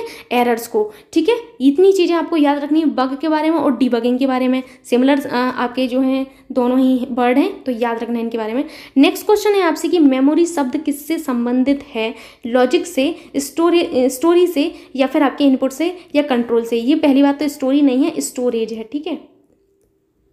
तो आपको बता दें कि आपके जो स्टोरेज होता है आर ए जी ई ठीक? तो आपके जो मेमोरी शब्द हैं, ये स्टोरेज से संबंधित होते हैं। किससे संबंधित होते हैं? स्टोरेज से संबंधित होते हैं। जैसे हमारा मस्तिष्क होता है, हमारी चीज़ें स्टोर करके रखता है, ऐसी कंप्यूटर में एक आपकी मेमोरी होती है, जो सभी की सभी चीज़ें स्टोर करके रखती हैं। ठीक है? नेक्स्ट क्वेश्चन है आपसे, कि सिम जो आप लोग यूज़ करते हैं, इस सिम का पूरा नाम क्या है? वेरी वेरी इंपॉर्टेंट बताना है आपको। Self identity module self identity machine subscribers identity machine या सब्सक्राइबर्स आइडेंटिटी मॉड्यूल तो सिम का जो पूरा नाम है, वो होता है आपका सब्सक्राइबर्स आइडेंटिटी मॉड्यूल आपका नाम होता है सिम का। बहुत ज़्यादा इंपॉर्टेंट है। नेक्स्ट क्वेश्चन है आपसे कि डिजिटल कंप्यूटर किस सिद्धांत पर कार्य करता है? मापन लॉजिक विद्युत या फिर गणना? तो जो डिजिटल कंप्यूटर है, ये बेसिकली आपकी गणना पर कार्य करते हैं। किस पर? गणना पर कार्य करते हैं। ठीक है? नेक्स्ट क्वेश्चन है आपसे कि कंप्यूटर भाषा कोबोल किसके लिए उपयोगी है? व्यावसायिक कार्य, वैज्ञानिक कार्य ग्राफिक कार्य या इनमें से कोई नहीं? तो कंप्यूटर भाषा जो कोबोल होती है, ये आपके व्यावसायिक कार्यों के लिए उपयोगी होती है। कोबोल का पूरा नाम होता है कॉमन बिज़नेस ओरिएंटेड लैंग्वेज ठीक है?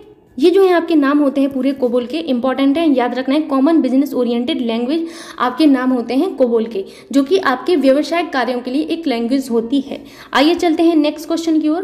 क्वेश्चन है आपसे कि प्रोग्राम हेतु सर्वप्रथम विकसित की गई कंप्यूटर भाषा है फोर्ट्रेन पास्कल कोबोल या बेसिक तो प्रोग्राम हेतु जो सर्वप्रथम विकसित की गई भाषा है, वो फोर्ट्रेन है। कौन सी है? फोर्ट्रेन है। फोर्ट्रेन का पूरा नाम है आपका फॉर्मूला ट्रांसलेशन ठीक है?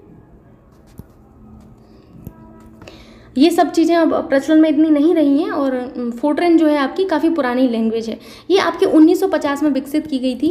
1950 में किसके द्वारा विकसित की गई थी? आईबीएम के द्वारा ये जो है डेवलप की गई थी आपकी फोर्ट्रेन लैंग्वेज ये आपकी एक हाई लेवल लैंग्वेज होती है, यानी कि एचएलएल हाई लेवल लैंग्वेज होती है आपकी फोर्ट्रेन। इतनी चीज़ें आपको याद रखनी है। फोर्ट्रेन जो लैंग्वेज है, जैसे कि आप नाम से स्पष्ट है कि फॉर्मूला ट्रांसलेशन ये आपकी इस भाषा, आपकी जो गणतीय सूत्र हैं, गणतीय सूत्रों में बहुत आसानी से हल कर देती थी ये आपकी फोर्ट्रेन लैंग्वेज ठीक ठीक तो इतनी चीज़ें आपको याद रखना है कि गणतीय सूत्रों को, बहुत आसानी से कौन सी लैंग्वेज हल की, हल करती है? फोर्ट्रेन व्यावसायिक भाषा कौन सी है? कोबोल बिल्कुल आपको रटा होना चाहिए ये सारी चीज़ें। बिल्कुल ऐसे ही क्वेश्चन सीधे सीधे आपसे एग्ज़ाम में पूछे जाते हैं। नेक्स्ट क्वेश्चन है आपसे कि इंटीग्रेटेड सर्किट चिप का विकास किसने किया? ये अभी आपको मैंने बताया था, लेकिन शायद आपको पता हो। ऑप्शन है आपके C V Raman J S Kilby Charles Babbage या फिर पास्कल पास्कल जी ने तो पास्कलाइन की आविष्कार किया था। चार्ल्स बबेज जी ने डिफरेंस इंजन और आपके एनालिटिकल इंजन का किया था। और रमन जी के बारे में तो आप लोगों को बहुत अच्छे से पता है, भौतिकी में इनका योगदान के बारे में। और आईसी चिप, जो इंटीग्रेटेड चिप होती हैं, इन, ये आपके जे एस किलबी जी के द्वारा विकसित की गई थी। ये जो इंटीग्रेटेड चिप होती हैं, ये आपके अर्धचालक पदार्थ से बनी होती हैं। दो अर्धचालक पदार्थों से बनी होती हैं कौन कौन से? पहला होता है आपका सिलिकॉन एंड दूसरा होता है आपका जर्मेनियम ये दो अर्धचालक जो पदार्थ हैं, इन पदार्थों से आपकी बनी होती हैं। ये जो आपकी इंटीग्रेटेड सर्किट चिप्स हैं। ये बहुत, ये चिप जो है, बहुत छोटी छोटी सी होती हैं, आलू के चिप्स के समान होती हैं। बट इनका काम बहुत मोटा होता है। ये जो है आपकी इनकी जो है क्षमता बहुत ज़्यादा होती है। ठीक? नेक्स्ट क्वेश्चन है आपसे कि ओरेकल है। ओरेकल क्या है? एक ऑपरेटिंग सिस्टम एक डेटाबेस सॉफ्टवेयर या सॉफ्टवेयर इनमें से कोई नहीं। तो ऑपरेटिंग सिस्टम तो नहीं है आपका ऑपरेटिंग सिस्टम तो आपका ओरेकल है ही नहीं। और, ठीक है? ओरेकल आपका एक डेटाबेस सॉफ्टवेयर होता है। क्या होता है? एक डेटाबेस सॉफ्टवेयर होता है। ठीक है? डेटाबेस सॉफ्टवेयर जो आपके जो डेटाबेस बनाने के काम आते हैं, उन्हें हम लोग डेटाबेस सॉफ्टवेयर कहते हैं। ठीक? ये जो डेटाबेस आपका ओरेकल है, ये बेसिकली आपका एक रिलेशनल, यदि कभी आपसे पूछ लिया जाए तो याद रहे आपको रिलेशनल डेटाबेस मैनेजमेंट सिस्टम है। क्या है? आपका R D B M S है। क्या है? रिलेशनल डेटाबेस मैनेजमेंट सिस्टम है। इसीलिए इसे R D V M S कहा जाता है। ठीक है? Relational data relational database management system ठीक? ये चीज़ आपको याद रखनी है। आपके वर्ल्ड में सबसे ज़्यादा यूज़ किया जाने वाला अगर कोई डी वी एम एस है, यानी कि डेटाबेस मैनेजमेंट सिस्टम है तो वो आपका ओरेकल ही है। कौन सा है? ओरेकल है। ओरेकल का जो लेटेस्ट वर्जन है, वो आपका है ओरेकल नाइनटीन सी। ये जो है आपके ओरेकल का लेटेस्ट वर्जन है सी है ये, ठीक है? नेक्स्ट क्वेश्चन है आपसे कि विंडोज़ सॉफ्टवेयर का निर्माण किया गया आईबीएम द्वारा एप्पल द्वारा विप्रो द्वारा या माइक्रोसॉफ्ट द्वारा? तो ये तो हम लोग स्कूल से यूज़ करते आ रहे हैं। विंडोज़ ऑपरेटिंग सिस्टम काफ़ी सिंपल होता है यूज़ करने में, इसीलिए इसका यूज़ करते हैं। ये माइक्रोसॉफ्ट के द्वारा विकसित किया गया किसके द्वारा? माइक्रोसॉफ्ट के द्वारा। माइक्रोसॉफ्ट के बारे में बता चुकी हूँ। ये किसकी कंपनी है? तो ये गैट्स साहब की कंपनी है और कब विकसित हुई थी? नाइनटीन में। इनके हेडक्वार्टर आपकी अमेरिका में देखने को मिलते हैं। नेक्स्ट क्वेश्चन है आपसे कि बेसिक भाषा का प्रयोग निम्न में से किस कार्य के लिए किया जाता है? वेरी वेरी इंपॉर्टेंट बेसिक भाषा। अभी तक मैंने आपको फोर्ट्रेन के बारे में बताया और कोबोल के बारे में बताया। कोबोल का यूज़ व्यवसायिक कार्य के लिए फोर्ट्रेन का यूज़ हम लोग, जो है गणतीय सूत्रों के लिए करते थे। बेसिक भाषा का प्रयोग निम्नलिखित में से किस कार्य के लिए किया जाता है? वाणिज्य के कार्यों के लिए, वैज्ञानिक गणना के लिए, बच्चों को सिखाने हेतु या प्रारंभ में सरल भाषा को सिखाने हेतु। नाम से ही स्पष्ट है बेसिक बेसिक का मतलब है जो हमारा आधारभूत ढांचा तैयार करे मतलब जो हमें पहले सरल चीज़ें सिखाए, फिर हम उससे आगे की चीज़ों पर जाएँ। तो बेसिक भाषा भी एक ऐसी भाषा होती है जो प्रारंभ में सरल भाषा को सिखाती है, ठीक है? इसीलिए फोर्थ ऑप्शन एकदम करेक्ट होगा। नेक्स्ट क्वेश्चन है आपसे कि फोर्ट्रेन एलगोल पास्कल आदि भाषाओं को सीखने के लिए किस भाषा को न्यू का पत्थर कहा जाता है? बहुत ही इंपॉर्टेंट क्वेश्चन है कि फोर्ट्रेन एलगोल पास्कल ये सभी भाषाएँ जो हैं, इन सभी भाषा को सीखने के लिए किस भाषा को न्यू का पत्थर कहा जाता है? C plus plus BASIC COBOL या फिर इनमें से कोई नहीं? सी प्लस प्लस तो ऑलरेडी एक हाई लेवल लैंग्वेज होती है, ठीक है? आपकी बेसिक भाषा जो होती है, ये बेसिक भाषा एक न्यू का पत्थर का कार्य करती है आपके फोर्ट्रेन एल्गोल और पास्कल आदि भाषाओं को सीख सीखने के लिए। चलते हैं नेक्स्ट क्वेश्चन की ओर। नेक्स्ट क्वेश्चन है आपसे कि VIOS का पूरा नाम है। आपको बताना है कि VIOS का पूरा नाम क्या है। बहुत इंपॉर्टेंट क्वेश्चन है ये वाला। आ, कई बार एग्ज़ाम में पूछा भी गया है आपसे। तो बताइए कि VIOS का पूरा नाम क्या है। Basic internal output system basic intra operation system या फिर बेसिक इनपुट आउटपुट सिस्टम या बेसिक इंटरनल आर्गन सिस्टम तो आपको बता दें कि वी का पूरा नाम होता है आपका बेसिक इनपुट आउटपुट सिस्टम तो ये थर्ड वाला ऑप्शन आपका एकदम करेक्ट होता है। बेसिक इनपुट आउटपुट जो सिस्टम होता है, ये नाम होता है आपके बीआईओएस का पूरा नाम, ठीक है? नेक्स्ट क्वेश्चन है आपसे कि कंप्यूटर शब्दकोश में सीडी अक्षरों का प्रयोग किसके लिए किया जाता है? हम लोग जो सीडी वगैरह यूज़ करते हैं तो ये सीडी है, उसका पूरा नाम क्या है? हम लोग पहले सीडी का प्रचलन बहुत ज़्यादा था, लेकिन धीरे धीरे जैसे इंटरनेट का ज़माना आता गया तो CD जैसी चीज़ों का यूज़ जो है कम होता गया। अब तो सब कुछ हमारा CD के बिना भी हो जाता है। तो ये जो CD था, इसका पूरा नाम क्या था, आपको बताना था? कंप्रेसर डेटा कंप्रेस्ड डिस्क या कंप्यूटराइज्ड डेटा या कॉम्पैक्ट डिस्क तो इस सीडी का पूरा नाम था आपका कॉम्पैक्ट डिस्क क्या नाम था? कॉम्पैक्ट डिस्क ये जो कॉम्पैक्ट डिस्क है, ये आपके डेटा को स्टोर करती है। किसको? डेटा को स्टोर कर सकती है। साथ ही साथ इसमें हम रीड भी कर सकते हैं और राइट भी कर सकते हैं। ठीक? ये आपकी एक ऐसी स्टोरेज डिवाइस है जिसमें हम लोग रीड और राइट दोनों ही एक्शन परफॉर्म कर सकते हैं। ठीक है? नेक्स्ट क्वेश्चन है आपसे कि निम्नलिखित में से कौन सा एक कंप्यूटर की भाषा नहीं है? आपसे पूछा गया है कि इनमें से कौन सी आपकी कंप्यूटर की भाषा नहीं है बेसिक फास्ट फोर्ट्रेन या सी सी लैंग्वेज भी होती है सी प्लस प्लस भी होती है एंड जावा भी होती हैं, ये आपकी लैंग्वेज होती हैं। फोर्ट्रेन भी आपकी लैंग्वेज है बेसिक भी लैंग्वेज है, आपकी वहीं आपका जो है फास्ट कोई भाषा नहीं होती कोबोल भी आपकी एक भाषा ही थी। ठीक है, लेकिन फास्ट कोई भाषा नहीं थी आपकी। ठीक चलते हैं। नेक्स्ट क्वेश्चन की ओर। क्वेश्चन है आपसे कि एप्पल क्या है? कंप्यूटर भाषा कंप्यूटर नेटवर्क एक फल, चौथी पीढ़ी का एक कंप्यूटर तो एप्पल जो है आपका एक फोर्थ जनरेशन का एक कंप्यूटर है। किस जनरेशन का? फोर्थ जनरेशन का। जो फोर्थ जनरेशन के कंप्यूटर हैं। इन सब में माइक्रो प्रोसेसर का यूज़ किया गया। किसका? माइक्रो प्रोसेसर का। ये जो माइक्रो प्रोसेसर हैं, इनने जो है प्रोसेसर की स्पीड को इतना ज़्यादा बढ़ा दिया कि आपके जो इंस्ट्रक्शन है, वो बहुत जल्दी परफॉर्म होने लगे। तो माइक्रो प्रोसेसर का यूज़ यही था कि इन्होंने जो है आपके प्रोसेसर की स्पीड बहुत ज़्यादा बढ़ा दी और आपके जो है मिलियन ऑफ़ इंस्ट्रक्शन अब बहुत जल्दी परफॉर्म हो जाते हैं। तो इन जो माइक्रो प्रोसेसर है, इनमें L S I L S I का मतलब होता है large scale integration large scale integration और आपका एक और होता है होता है वी एल एस आई ये जो वी एल एस आई होता है, इसका मतलब होता है वेरी लार्ज स्केल इंटीग्रेशन से क्या हुआ कि माइक्रो प्रोसेसर की क्षमता में और ज़्यादा वृद्धि हुई। तो एल एस आई और वी एल एस आई जो है आपकी, इनका यूज़ आपकी फोर्थ जनरेशन के कंप्यूटर में हुआ। एग्ज़ाम में पूछा जाता है कि फोर्थ जनरेशन के कंप्यूटर में प्रयुक्त हुआ। आपसे ऑप्शन में दे दिया जाएगा वैक्यूम ट्यूब्स आपके ट्रांजिस्टर माइक्रो प्रोसेसर या फिर कोई और डिवाइस दे दिया जाए। तो माइक्रो प्रोसेसर का यूज़ जो है आपकी फोर्थ जनरेशन में हुआ था। L S I V L S I प्रणाली का यूज़ हमारे फोर्थ जनरेशन के कंप्यूटर में हुआ था, क्योंकि एल और वी ही एक ऐसी प्रणाली थी जिन्होंने माइक्रो प्रोसेसर की क्षमता को बढ़ाया था। ठीक है, चलते हैं नेक्स्ट क्वेश्चन की ओर।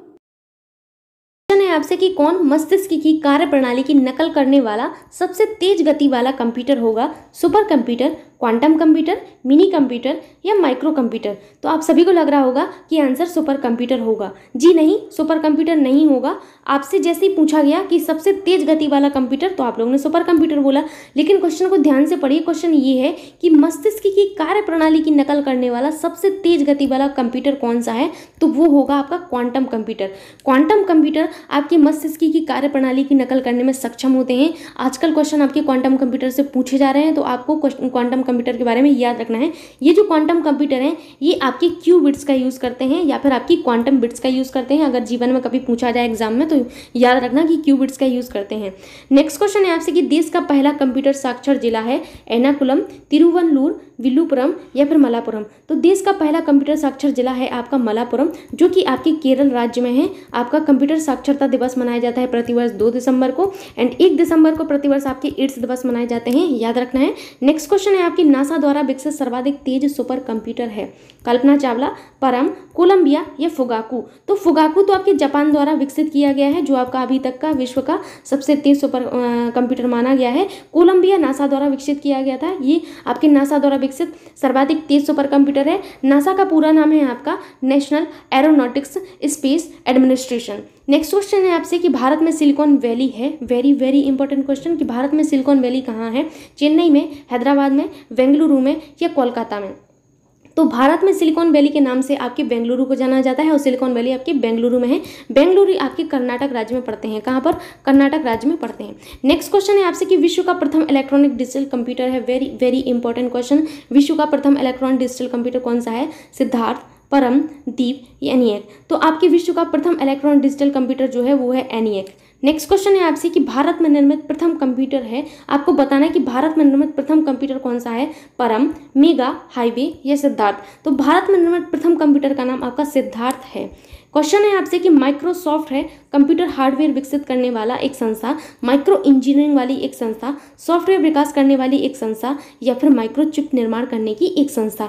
तो ये है, जो है आपकी माइक्रो सॉफ्ट जो कंपनी है, ये सॉफ्टवेयर विकास करने वाली एक संस्था है, इसीलिए ऑप्शन थर्ड एकदम करेक्ट होगा।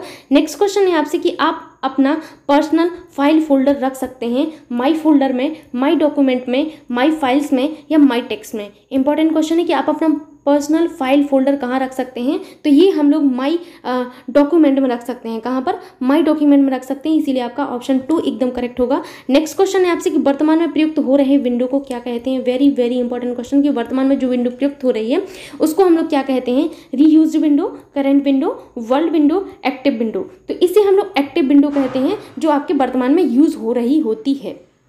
नेक्स्ट क्वेश्चन है आपसे कि इनमें से कौन आपके M S Office package program नहीं है M S Word M S Excel M S Access या फिर वर्ड पैड तो आपके वर्ड पैड जो होते हैं, ये आपकी M S Office package program के अंतर्गत नहीं आते हैं। तो आखिर कौन कौन से आपके M S Office program package के अंतर्गत आते हैं, आइए जानते हैं। तो आपके माइक्रोसॉफ्ट ऑफ़िस पैकेज के अंतर्गत आपके चार प्रोग्राम आते हैं। कौन कौन से? चार हैं, आइए जानते हैं इनके बारे में। पहला है आपका एम एस वर्ड, दूसरा है आपका एम एस एक्सेल ये बहुत इंपॉर्टेंट चीज़ है याद रखना है एग्ज़ाम में पूछा जाता है। एंड थर्ड है आपका एम एस पावर पॉइंट जैसे मैंने इन सब का यूज़ किया है तो आ, आ, मुझे पता है लेकिन अगर आप लोगों में से किसी ने भी इनका यूज़ किया है तो आप लोग समझ सकते हैं कि ये सब लोग हमारे जो है M S Office package program के अंतर्गत ही आते हैं। एंड फोर्थ नंबर पर आता है आपका एम एस एक्सेस ठीक है? एम एस एक्सेस तो ये चार जो आपके प्रोग्राम हैं, ये आपके जो है एम एस ऑफ़िस पैकेज के अंतर्गत आते हैं M S Word M S Excel M S PowerPoint आपके एम एस एक्सेस ठीक है? याद रखना है इन चारों के बारे में? तो यहाँ पर आप लोग समझ चुके होंगे कि वर्ड पैड आपका नहीं आता है। नेक्स्ट क्वेश्चन है आपसे कि एम एस वर्ड का प्रयोग किया जाता है। संख्यात्मक डेटा संशोधन हेतु टेक्स्ट डेटा संशोधन हेतु, चित्र डेटा संशोधन हेतु, या फिर इनमें से कोई नहीं। तो आपके एम एस वर्ड का यूज़ जो है, आपके टेक्स्ट डेटा संशोधन हेतु किया जाता है। इसीलिए ऑप्शन टू एकदम करेक्ट होगा। याद रखना है इस बारे में आपको। नेक्स्ट क्वेश्चन है आपसे कि M S Office M S Microsoft Office का निजी सूचना प्रबंधक है। इंपॉर्टेंट क्वेश्चन है। एक्सेस ऑर्गेनाइजर आउटलुक या इंटरनेट एक्सप्लोरर। तो आपके एम एस माइक्रोसॉफ्ट ऑफ़िस का जो निजी सूचना प्रबंधक है, उसका नाम है आपका आउटलुक इसलिए ऑप्शन थर्ड एकदम करेक्ट होगा। चलते हैं नेक्स्ट क्वेश्चन की ओर। क्वेश्चन है आपसे कि न्यू नए डॉक्यूमेंट के लिए कीबोर्ड शॉर्टकट है। आपको बताना है कि न्यू डॉक्यूमेंट के लिए आप कौन सा कीबोर्ड शॉर्टकट यूज़ करेंगे? आपको कीबोर्ड की शॉर्टकट कीज़ के बारे में थोड़ा बहुत जानकारी होगी। नहीं होगी तो आप धीरे धीरे इस वीडियो में सीख जाएँगे। कुछ यहाँ पर आपको शॉर्टकट कीज़ देखने को मिलेंगी? फिर आगे भी वीडियोज़ रहेंगे तो उनमें कई सारी शॉर्टकट कीज़ देखने को मिलेंगी तो आप लोग समझ जाएँगे शॉर्टकट कीज़ जो इंपॉर्टेंट इंपॉर्टेंट है उन सभी के बारे में। तो नए डॉक्यूमेंट के लिए जो शॉर्टकट की है, उसके आपके ऑप्शन दिए हैं कि सी यानी कि control plus M control plus B control plus shift plus E control plus N तो नए डॉक्यूमेंट के लिए कीबोर्ड शॉर्टकट की है, वो है आपकी control plus N next question है आपसे कि वर्ड रैप की क्या विशेषता है? Very very important word wrap की क्या विशेषता है? डॉक्यूमेंट के अंत को दर्शाता है या टेक्स्ट पर टाइप की टाइप करने की सुविधा देता है? डॉक्यूमेंट के निचले हिस्से में प्रकट होता है या फिर आवश्यकता होने पर टेक्स्ट को अगली लाइन में स्वतः भेजता है। ये स्वतः होगा, ठीक है? स्वतः भेज देता है। तो आपको बता दें कि वर्ड रैप जो होता है, वो आवश्यकता होने पर टेक्स्ट को अगली लाइन में स्वतः भेज देता है, इसीलिए फोर्थ ऑप्शन एकदम करेक्ट होगा।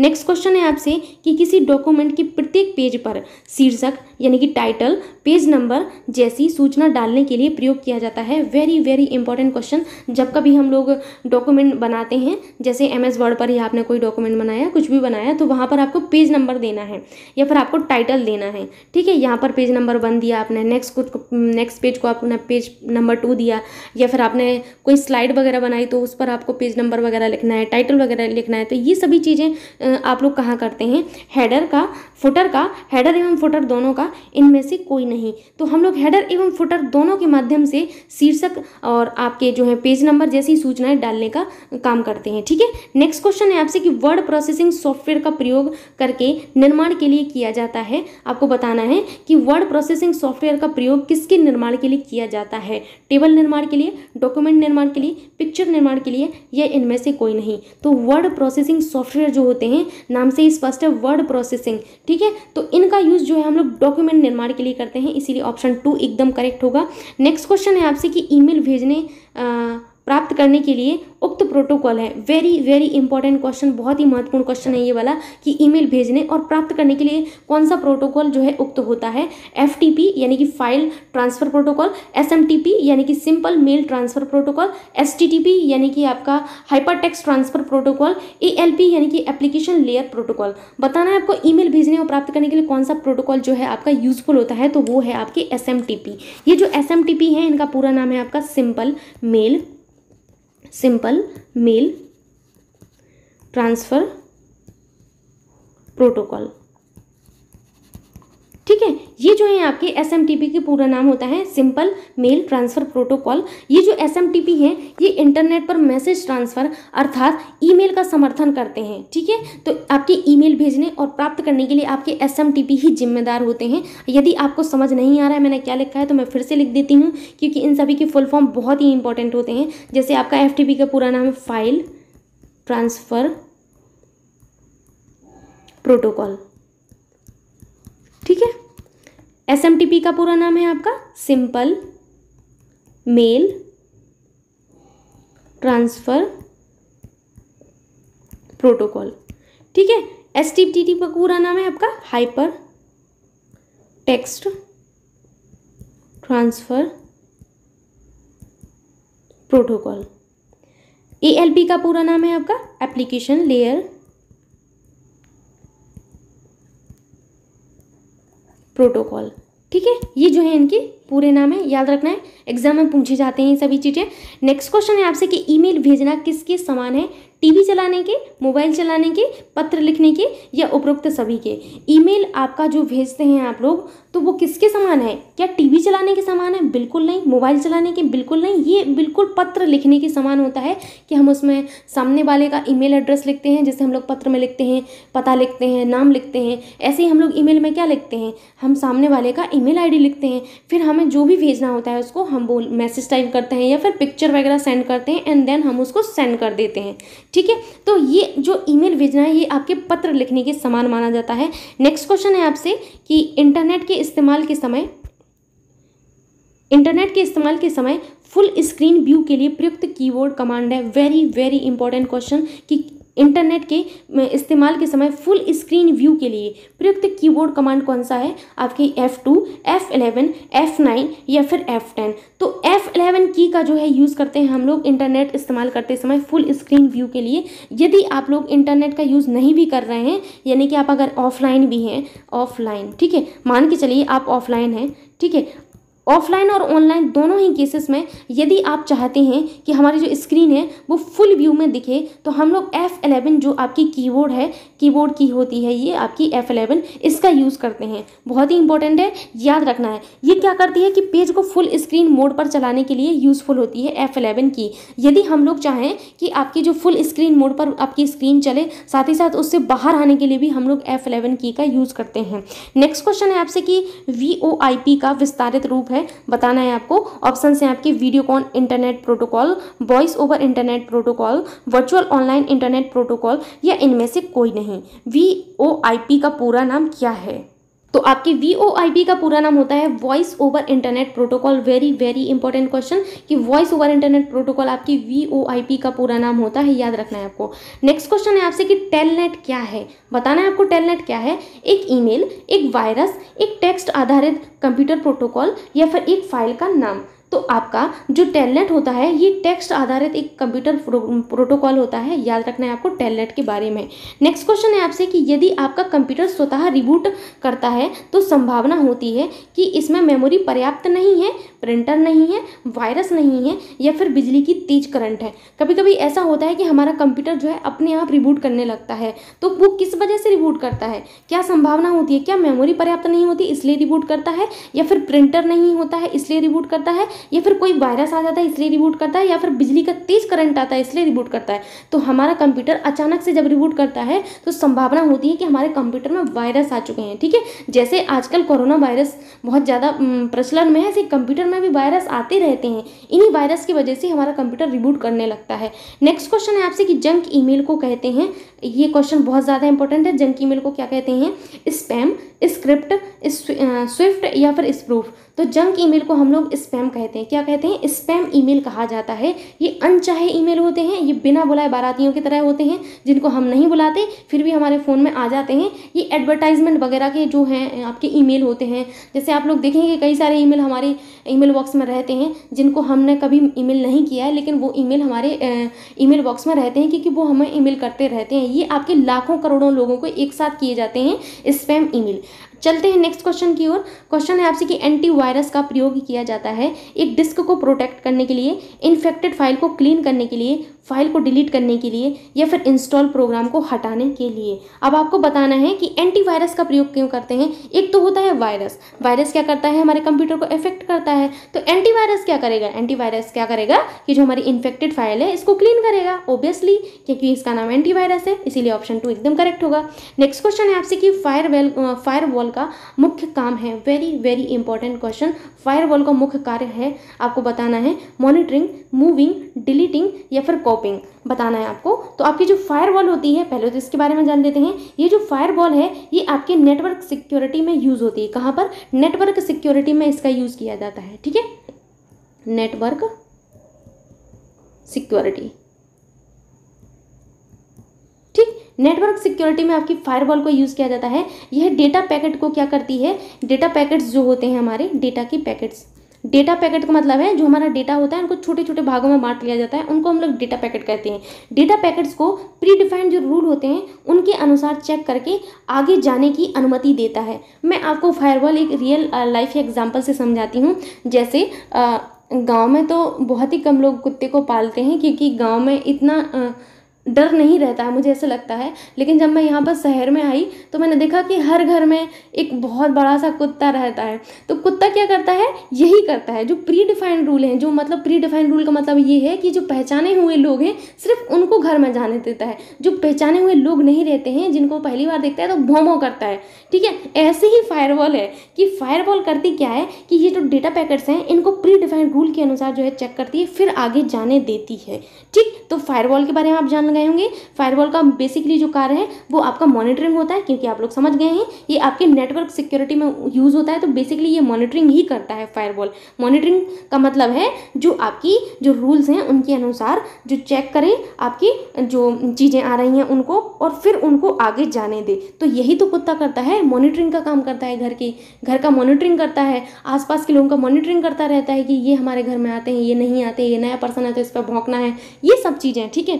नेक्स्ट क्वेश्चन है आपसे कि प्रॉक्सी सर्वर प्रयोग किया जाता है डेटाबेस एक्सेस के लिए रिक्वेस्ट करने के लिए T C P I P देने के लिए, या फिर वेब पेज के लिए क्लाइंट रिक्वेस्ट प्रोसेस करने के लिए, या फिर आपके अनाधिकृत उपयोगकर्ताओं के खिलाफ सुरक्षा प्रदान करने के लिए। आपको प्रॉक्सी सर्वर के बारे में बताना है। पहली बात तो सर्वर इस तरीके से नहीं लिखा जाता है सर्वर आपका इस तरीके से लिखा जाता है, ठीक है? याद रखना है आपको।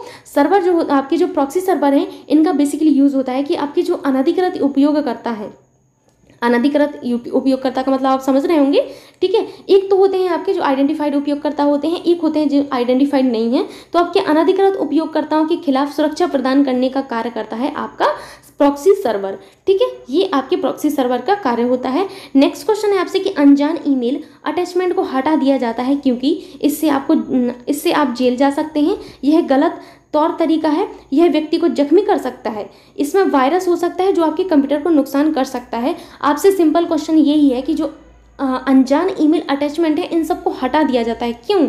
आखिर क्या कारण है कि हम लोग अनजान ईमेल अटैचमेंट्स को हटा देते हैं? तो इसका बेसिक रीज़न यही है कि इनमें वायरस हो सकता है जो आपके कंप्यूटर को नुकसान पहुँचा सकता है। ये आपकी डिवाइस को पूरी तरीके से नुकसान पहुँचा सकता है, इसीलिए अनजान ईमेल अटैचमेंट्स को हटा दिया जाता है। नेक्स्ट क्वेश्चन है आपसे कि हैकर हैं कंप्यूटर सुधारने वाला व्यक्ति एक व्यक्ति जो कंप्यूटर को सुरक्षा बनाए रखता है, या फिर एक व्यक्ति जो व्यक्तिगत लाभ की दूषित इरादों से कंप्यूटर सुरक्षा का पालन नहीं करता व्यक्ति जो कंप्यूटर के सुरक्षित परिचालनों के लिए उत्तरदायी होता है, इनमें से कोई नहीं। तो हैकर हैकर के बारे में आपको बताना है। आप सभी लोग ट्वेंटी फ़र्स्ट सेंचुरी के हैं, आप सभी लोग परिचित होंगे हैकर शब्द से। हैकर बेसिकली वो होते हैं जो आपके कंप्यूटर को नुकसान पहुंचाते हैं, ठीक है? इनका बिल्कुल इंटेंशन ये नहीं होता कि कंप्यूटर को सुधारने वाला कार्य तो फ़र्स्ट और थर्ड ऑप्शन तो बिल्कुल भी नहीं हो सकता कभी कभी भी। आपके जो हैकर हैं, ये आप, अपने व्यक्तिगत लाभ के लिए, आपके जो कंप्यूटर हैं, इन सभी को जो है सुरक्षा प्रदान नहीं करते हैं। इनको नुकसान पहुँचाने का कार्य जो है आपके हैकर्स करते हैं, ठीक है? तो आपका ऑप्शन टू एकदम करेक्ट होगा। हैकर के बारे में। नेक्स्ट क्वेश्चन है आपसे कि ज्ञात सॉफ्टवेयर बग को रिपेयर करने के लिए इंटरनेट पर सामान्यतः बिना प्रभार के मिलने वाला सॉफ्टवेयर है वर्जन आपके पैच ट्यूटोरियल इनमें से कोई नहीं। बहुत ही ज़्यादा इंपॉर्टेंट क्वेश्चन है आपसे कि ज्ञात सॉफ्टवेयर को के बग को रिपेयर करने के लिए। कभी कभी आपके सॉफ्टवेयर में कोई जो है बग आ जाता है। बग का मतलब है कोई अशुद्धि आ जाती है। कंप्यूटर की भाषा में अशुद्धि को बग कहा जाता है, ठीक है? तो कंप्यूटर में जब आपके सॉफ्टवेयर में बग आ जाता है तो उसको रिपेयर करने के लिए आपके इंटरनेट पर सामान्यतः बिना प्रभार के कुछ सॉफ्टवेयर जो है आपको मिलते हैं। तो उन सॉफ्टवेयर को क्या कहा जाता है? तो उन सॉफ्टवेयर को पैच कहा जाता है। क्या कहा जाता है? पैच ठीक है?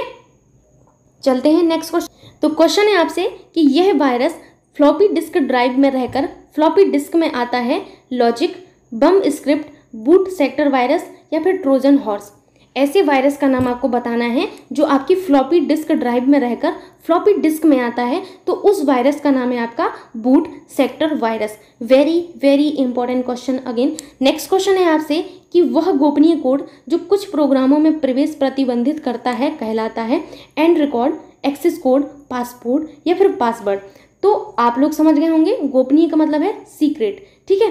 तो आपका जो पास पासवर्ड होता है, ये आपका एक गोपनीय कोड होता है, जो कुछ प्रोग्रामों में प्रवेश करने के लिए प्रतिबंध लगाता है। जैसे कि हम लोग अपने फ़ोन में भी पासवर्ड लगाते हैं एंड अपने कोई भी गैजेट जो होता है, जैसे हमारा लैपटॉप है तो उसमें भी पासवर्ड लगाते हैं तो उसका यूज़ यही होता है कि जो है हमारे प्रोग्रामों तक कोई और ना पहुँच पाए, और हमारी जो प्रोग्राम है, हमारी जो फाइल्स हैं, वो इन्फेक्ट ना हो।